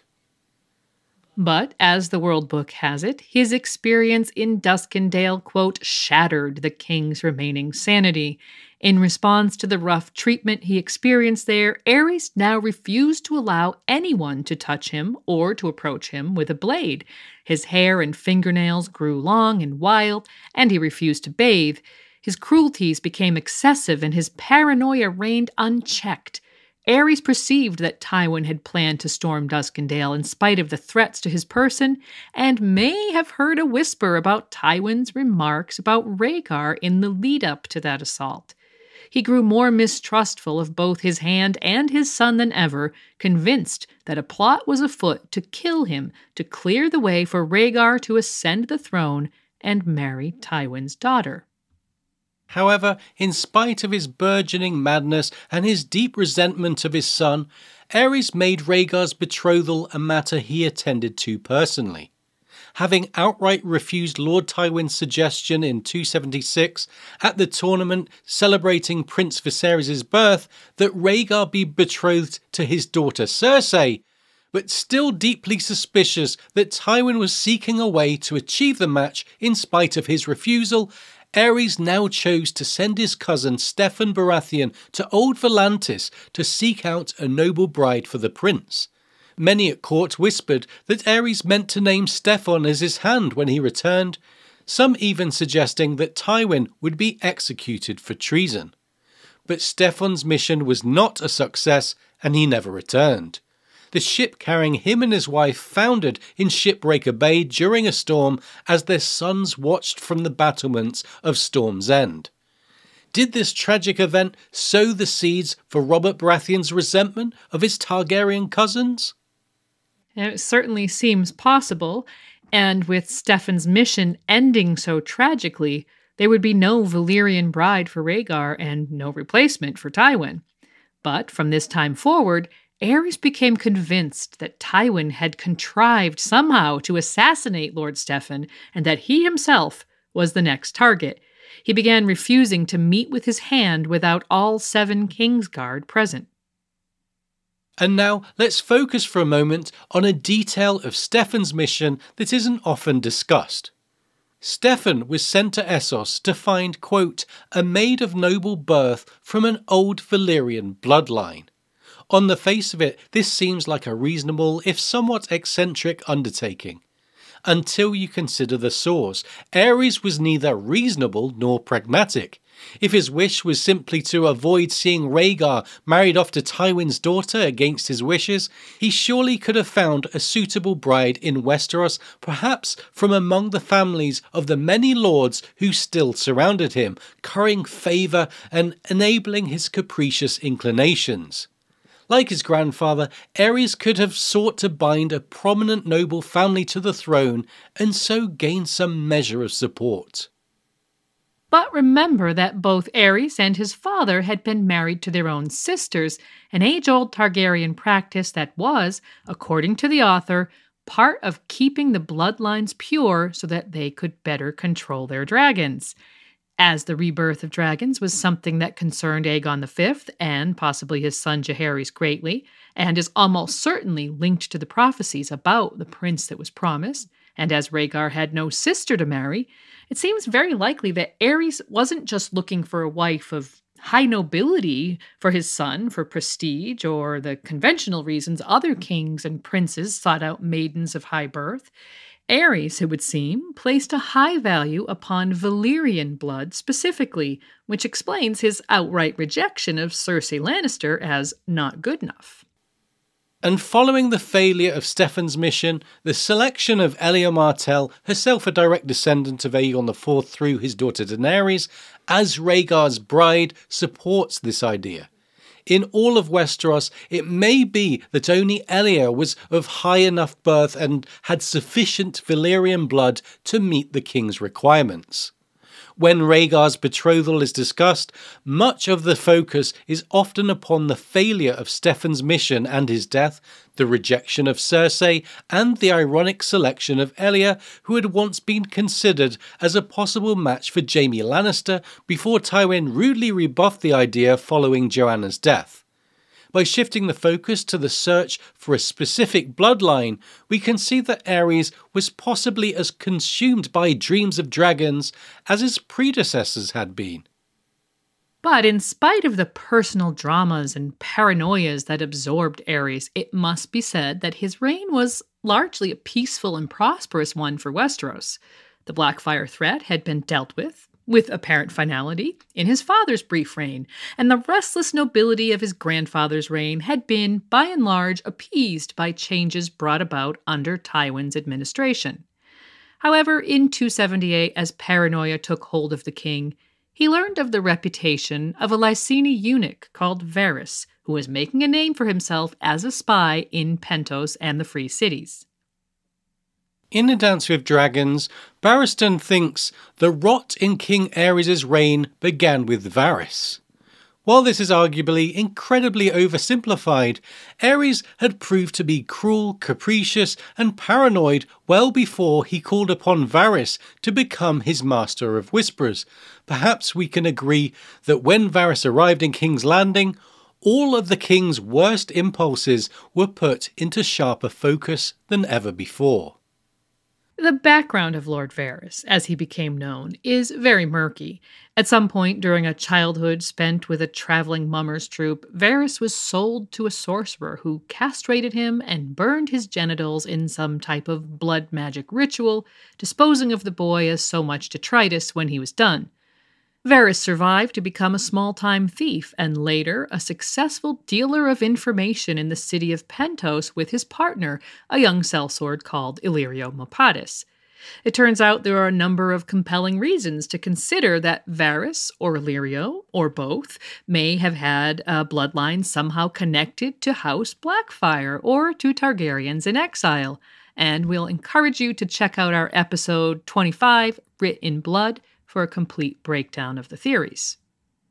If we allow that Varys has these connections and arrived in King's Landing in 278 with a secret agenda aimed at sabotaging House Targaryen and perhaps completing what the Blackfyre claimants had failed to do over several generations of rebellions and invasions, then the final several years of Aerys' reign take on an extremely ominous shade. And to be clear, there needn't have been a distinct plan to place a Blackfyre claimant upon the throne in those early days. While there may have been, it's also possible that simply sabotaging their old enemies was goal enough in the beginning. Yeah, remember that we suggested earlier in this episode that a sort of shadow campaign of sabotage may have been taking place as far back as during the reign of Aerys I, and that the attrition that reduced House Targaryen to a mere three male members by 278, one of whom was arguably lost to madness, may have been only partly the result of bad fortune. In A Storm of Swords, Catelyn Stark tells her son Robb the Blackfyre pretenders troubled the Targaryens for five generations, until Barristan the Bold slew the last of them on the Stepstones. This was meant as a caution to Robb about the problems with legitimized bastards, but the statement also has the ominous ring of undue confidence to it. It's easy to imagine the author and any number of his characters in story cackling while rubbing their hands and saying, You thought all the Blackfyres were dead, did you? Additionally, we wonder if perhaps these words about Varys from the World Book only a man without friends, family, or ties in Westeros could be relied upon for the truth, are meant to be secretly ironic. At any rate, Varys entered the scene during Aerys' reign as the primary enabler of the king's paranoia. At the same time, Aerys became fascinated with dragons and dragonfire. In a dark echo of his grandsire's desire for dragons to bring his recalcitrant lords in line, Aerys reckoned that had he been possessed of dragons, Duskendale would never have happened. He began to experiment with hatching dragon eggs from the Targaryen cache on Dragonstone and when his early efforts failed, he turned to the guild of pyromancers who knew the secrets of wildfire, called a close cousin of dragonfire. Wisdom Rossart of the pyromancers became as much a fixture at court and upon the small council as Varys the spider. The king gave in to an obsession with fire and began to take great delight in burning his political enemies, real or perceived, under the watchful eye of his pyromancers but we have to believe that the real reason the pyromancers were called upon in the first place was for assistance in hatching the eggs Aerys so desperately wanted to see turned into living, fire breathing dragons. Remember that pyromancers had been involved in Targaryen efforts to resurrect dragons since the reign of Aegon IV, the first generation of dragonless Targaryens. And so, as we approach the final years of Aerys' reign, dreams, the effort to hatch dragons, and Blackfyres, if we allow that Varys represents that cause, are once again at the forefront of House Targaryen. But unlike in his grandfather's day, the ruling house now possessed less than a handful of members. The king himself, spiraling into madness, the queen, kept a virtual prisoner in the Red Keep, the crown prince, called the last dragon and so very promising as a leader, but not trusted by his own father, and the youngster Viserys, who Barristan Selmy remarks, oft seemed to be his father's son in ways Rhaegar never did. In those years after Duskendale, the king never left the Red Keep. He continued to be deeply mistrustful of his hand, but Tywin remained in office, bringing his daughter, whom he had once wanted to see betrothed to Rhaegar, to court. It may be that he had new plans for her betrothal, perhaps to Prince Viserys when he grew old enough, or perhaps Tywin was simply biding his time since Rhaegar's new wife, Princess Elia of Dorne, was known to be in fragile health. In fact, the birth of the couple's first child, Princess Rhaenys, had left her bedridden for half a year. Jaime wonders in A Storm of Swords if maybe Tywin ghoulishly anticipated her death and meant to keep Cersei in the right place at the right time to catch Rhaegar's eye. Cersei, though, had ideas of her own. After several years at court, her twin came to King's Landing for a visit in 281. Cersei wanted Jaime, newly knighted, to join Aerys' Kingsguard so he would be near her always. Conveniently, one of the White Knights had just died in his sleep, leaving a spot open that Aerys would be looking to fill. While there's no outward indication of foul play, we think there could be a possibility that Cersei had something to do with Sir Harlan Grandison's death. A silken pillow is right out of the Lannister playbook, and in A Feast for Crows, when contemplating how to rid herself of Margaery Tyrell, Cersei thinks, When an old man died in his sleep, no one thought twice of it, but a girl of six and ten found dead in bed was certain to raise awkward questions. However, Sir Harlan died, it seems clear that Cersei somehow planted the idea of Jaime joining the Kingsguard in Aerys' mind. Yet she reckoned without her father's long patience with the king coming to an end at last. For when Aerys, clearly delighted at the opportunity to wound his old friend, named Jaime to the White, stripping the hand of his heir and shattering Jaime's planned betrothal with Lysa Tully in one blow, Tywin managed to thank the king for the honour before pleading illness and begging Aerys to accept his resignation so he could retire to Casterly Rock. Aerys agreed and Tywin departed, taking Cersei with him. Her plan, if indeed it was hers, had backfired, and she and Jaime would spend the next several years apart. From this time forth, Aerys was fully surrounded by what the World Book calls Lickspittle lords, chief amongst them Lord Owen Merryweather, who replaced Tywin as Hand. In addition, the divide between Aerys and his son Rhaegar grew so deep that factions inevitably grew up around them at court. Many suspected that Rhaegar wanted to see his father abdicate, or at least retire, leaving him as regent. Surely, given the king's precarious mental health, this would have been a sensible thing to consider, but the Lickspittle lords were accustomed to benefiting from their associations with Aerys, something that would not be expected to continue if Rhaegar came to power. These factions became so entrenched that Pycelle wrote to the Citadel that the situation at the Red Keep was as tense as any since the lead up to the Dance of the Dragons 150 years earlier. Much like his ancestor, Princess Rhaenyra, Rhaegar and his wife kept mainly to Dragonstone, where he was attended by his close friends and certain members of the Kingsguard. Ostensibly to keep Tywin from acting upon his nefarious assassination plots, Aerys kept Jaime Lannister at his side, where the young knight would eventually witness some of his king's most savage and inhumane acts, the deaths by burning of Lord Chelsted and of Rickard and Brandon Stark, the rape of Queen Rhaella, and the king's secret campaign to mine the capital city with wildfire caches. The background of these events were the events of the year of the false spring, the tourney at Harrenhal, and the flashpoint of the rebellion of Lord Robert Baratheon, the supposed abduction of Lyanna Stark by the Crown Prince. These are events that will soon be covered in a dedicated episode, and so we're going to keep our focus on where prophecy came back into the equation for the royal family in the course of that year.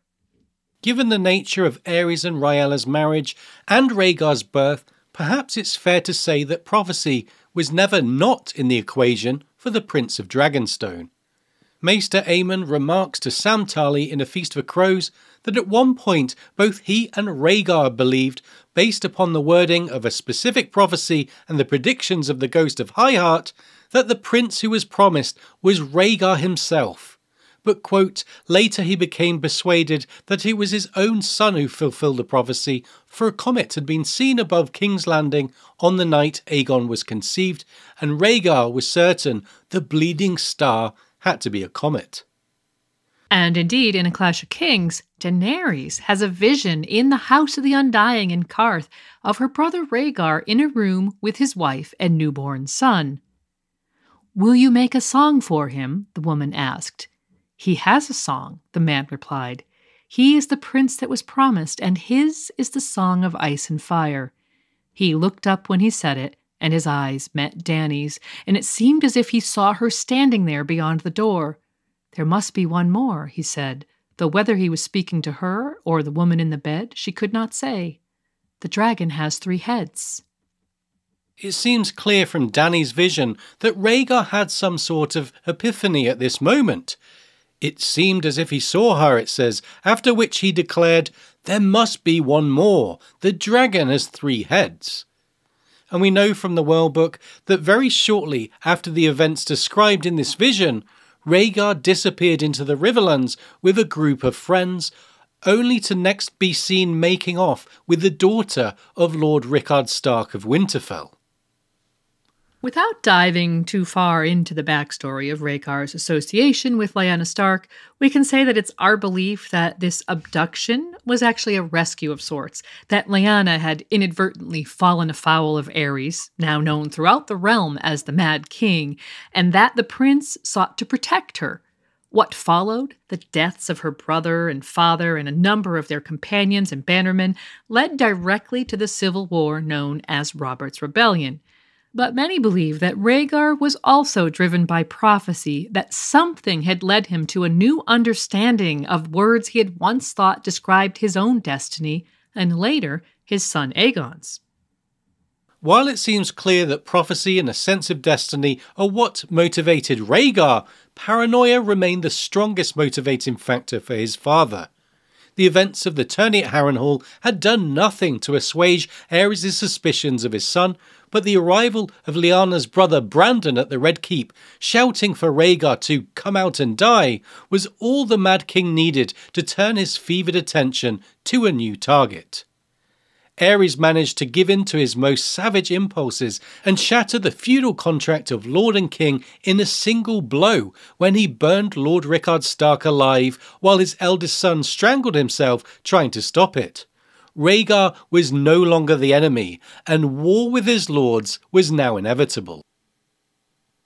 Aerys no longer seemed to care, if he ever had, about the prophecy that had driven his son's entire existence, but he still may have been very interested in hatching dragons. As the walls closed in and the rebels gained more support and more victories, Aerys gave the city of King's Landing into the hands of his pyromancers. After Rhaegar's death at the Battle of the Trident, Aerys sent Rhaella and Viserys to Dragonstone, but kept Rhaegar's wife and children by his side to keep Dorne's army loyal. Jaime recalls the king's words as the rebel army closed in on the capital. The traitors want my city, I heard him tell Rossart, but I'll give them naught but ashes. Let Robert be king over charred bones and cooked meat. Jaime continues the story with The Targaryens never bury their dead, they burn them.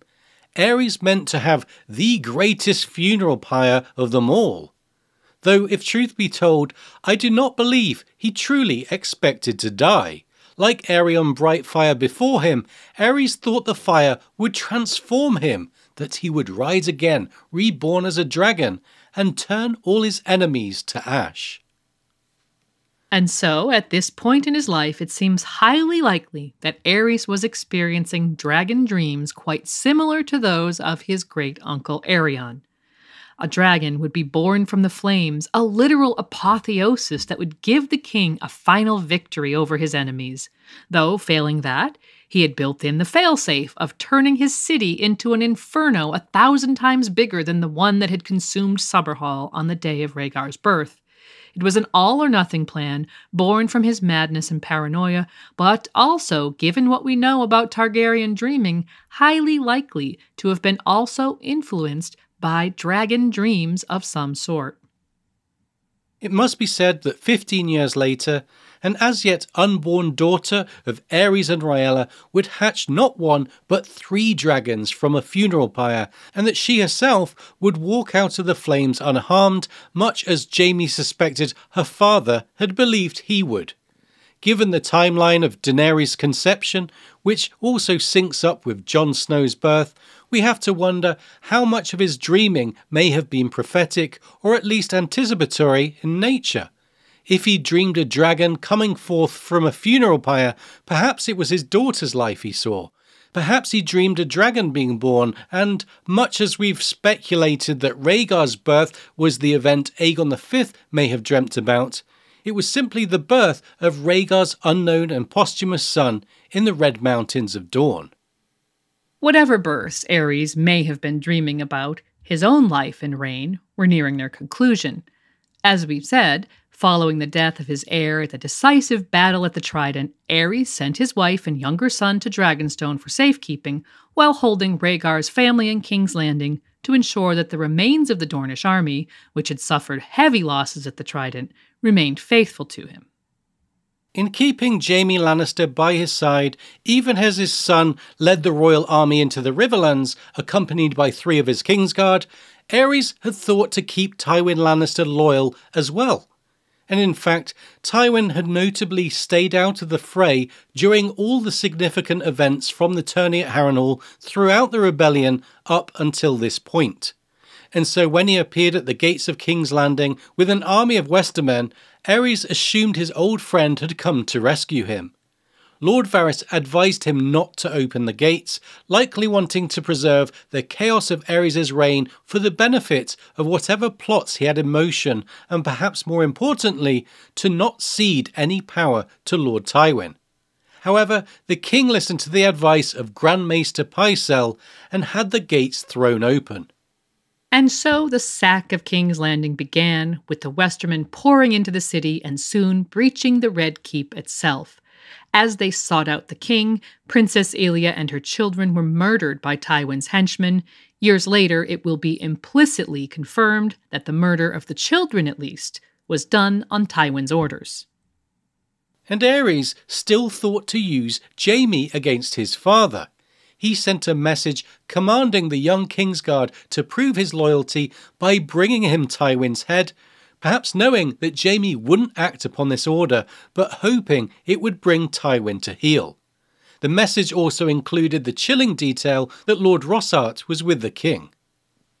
Now, Jaime had known for some time about the pyromancer's work, mining the city with wildfire caches, and he knew the king intended to set it off as a last resort to prevent King's Landing from falling into rebel hands.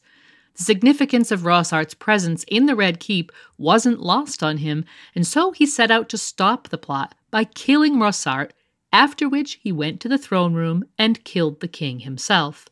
He tells Brienne in A Storm of Swords that days later he killed the rest of the pyromancers as well, for good measure. And so ended the reign of Aerys II. The irony that he was killed by the young knight he had insisted on keeping at his side to ensure his own safety from Tywin should be lost on none of us, nor should the fact that Jaime only learned the details of the plot that led him to take the drastic measure of killing his king because Aerys refused to let him be out of his company. Aerys would be known to history not as Aerys the Great or Aerys the Wise, as he had once hoped, but rather as the Mad King. Though his own reign was arguably more peaceful and prosperous than those of his father and grandfather, it ended in blood, if not in fire, thanks to the actions of Jaime Lannister. And as in his predecessors' reigns, the through lines of dragons, dreams, prophecy, and possibly even the Blackfyre issue were all present by the end. As for his legacy, the reign of Aerys II ostensibly brought about the death of the Targaryen dynasty. The new king would be a Baratheon, a close cousin, but one who claimed the succession by right of conquest rather than blood, and the next two decades of Westerosi politics would be dominated, once again, by Tywin Lannister. Aerys had three children Rhaegar, who predeceased his father, perishing at the Trident, his visions of a prophetic destiny unfulfilled and misunderstood, as much a victim of his father's madness as anyone. Viserys, whose instability and alarming similarities to his father would become more and more obvious over the course of a 15 year exile until a serious error in judgment led to his death in the Dothraki Sea. And lastly, Daenerys, the posthumous daughter who will hatch three dragon eggs from her husband's funeral pyre. And then there are the grandchildren, Rhaenys and Aegon, both dead at the hands of Lannister swords. Or is it possible that Aegon survived? And finally, the apparent prince in hiding, Jon Snow, the posthumous son of Rhaegar and Lyanna Stark, whose destiny may be linked to the Song of Ice and Fire that Rhaegar once thought belonged to his firstborn son, Aegon.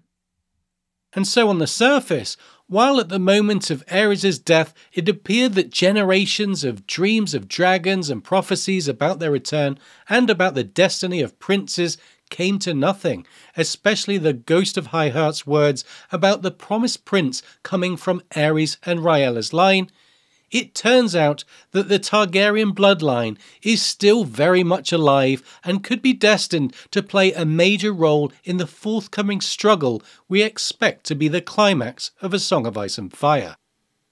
Daenerys has hatched her dragons, and while we cannot say for sure if the marriages of her parents and grandparents played a direct role in that, we can certainly speculate that it might have, given the author's clarity about the value of a pure bloodline in controlling dragons. As far as the promised prince, both Daenerys and Jon are possible candidates, and if Aegon turned out to be the real thing, then so would he be as well. In spite of the fact that in 283 House Targaryen seemed to be finished, at the dawn of the 4th century, it's about to become obvious that they are still very much alive and relevant. It's not a new observation that in A Song of Ice and Fire, the present is informed by the past. The histories that we have of House Targaryen in the 3rd century are quite valuable in showing us not only how various characters came to be who or what they are, but also in revealing themes we can expect to be relevant in the present. Prophecies and dreams, dragons and Blackfyres, are all things we continue to discuss in the context of the main series and the lives of those who came before play a key role in illuminating their importance. It all goes back and back to our mothers and fathers and theirs before them. We are puppets dancing on the strings of those who came before us, and one day our own children will take up our strings and dance on in our steads.